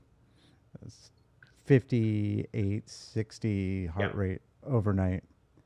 So yeah, I can t- completely understand that. And it's weird though, because I took all of June off from drinking, and my deep sleep scores were trash compared to compared to the nights I do drink on the Oura. Right, right. Yeah, I mean, one one one drink of any type. Um, beer is a little worse for me because I'm I'm getting more and more gluten intolerant as I get older. Um, but uh, one drink of any type, like I said, raises my heart rate at least ten beats per minute. So, um, I'm not saying I never do it, but I just have to recognize that it. I'm not getting quite as good a sleep. Yeah. I'm going to sleep a little bit longer and take it a little easier the next day, even if I feel fine. So, So one of the other things I hear from veterans um, is nightmares or dreams, and I don't know whether you really touch on um, not the meaning of dreams, but how dreams affect your sleep. Um, does the more vivid a dream that you remember in the morning have anything to do with the quality of sleep you got the night before? yeah, and that that was actually going to be my my answer. Uh, more than um, dreams affecting your sleep, I'd say that sleeps are affect sleep's affecting the quality of sleep is affecting your dreams. Um, so if you remember, I said earlier that first sleep cycle is primarily deep sleep, a little bit of REM sleep, and then throughout the night that reverses. The last sleep cycle is almost all REM sleep, very little deep sleep. If you wake up, so you dream throughout the whole night. Uh, the vivid dreams that you think of when you think about dreams are things that are in color, that are action, that have action in them. That even if they're nonsensical, like there's a lot going on in them that you're you're recognizing. Um, that's happening during REM sleep. If you wake somebody up during a REM sleep, they'll remember their dream really well. If you wake somebody wake somebody up during deep sleep, they don't remember their dreams very well. So if you're waking up too early, or if your sleep architecture just isn't that great, and you're you're not reliably in REM sleep in the morning, you might not be waking up during REM sleep. And if you're not waking up during REM sleep, you're not going to remember your dreams. You're dreaming every night, whether you recognize it or not. But if you have too high of stress hormones, the REM, your brain is actually more active during REM sleep than it is when you're awake in a lot of in a lot of cases. So if you have high stress hormones, the difference between being awake and being asleep is kind of nebulous because you have enough stress hormones to keep you awake, but you still have like the right brain patterns to be in REM sleep. And so that kind of blend between those things makes d- distorts the uh, reliability of those dreams and the memories of those dreams because you're kind of bouncing between being awake and being asleep and being awake and being asleep and being like and you're kind of doing this like maybe every other second you're like kind of flip flopping around and so the the the morning quality when your stress hormones are getting higher um, to wake you up in the morning maybe they've gone up you know they've gone higher than they needed to to wake you up but you're still tired and you're still trying to keep sleeping. So then there's like a mismatch between your stress hormones and your sleep architecture. And the, and those and those points the you know the sleeps the the dreams might be more fragmented less vivid because you're bouncing between being awake and, and REM sleeping. Whereas if you had lower stress hormones you would be legitimately asleep having this very profound visual experience of this dream. And then enough hormones would come to wake you up and you would remember kind of that last bit. Um, but the the meaning of dreams or whether or not dream uh, more vivid more memorable dreams connote or denote uh, better sleep that's up for grabs. That i don't think that anybody really knows that. That's kind of up for opinion. We don't we can't say for sure oh you dreamt a lot so you slept really well. Because some people can dream a lot and sleep like crap and some people can sleep great and not really remember their dreams Um, sorry, my And got I only have about I only have about nine more minutes because I have another call. No, no problem. I was actually gonna Okay. wrap this up. So I wanted to thank you for coming on. Um, hope if you're willing to come on again uh, at a future point, we can talk about the last year's pandemic and what you've seen with people's. Yeah. I'm, I'm more than I'm more than happy to come on again. yeah. I Like, did. I, I, it, apo- it's hard it's hard to get everything done in an hour or two when Yeah. there's so much to talk about. I didn't realize we've been recording for two hours and 35 minutes. Yeah. well, Doc, thanks so much for coming on. It means a lot. yeah, I, I, I like I said, I truly appreciate it. Um, anytime somebody will give me a soapbox to stand on and spin my st- spin my tales, then uh, I I appreciate it. So Hey, can um, can you let people know how to find you and um, where they can get your product? yeah, so um, my my website, it, you know, doc short for doctor, D O C, and then my last name is Parsley, like the herb, so P A R S L E Y. So it's just docparsley.com.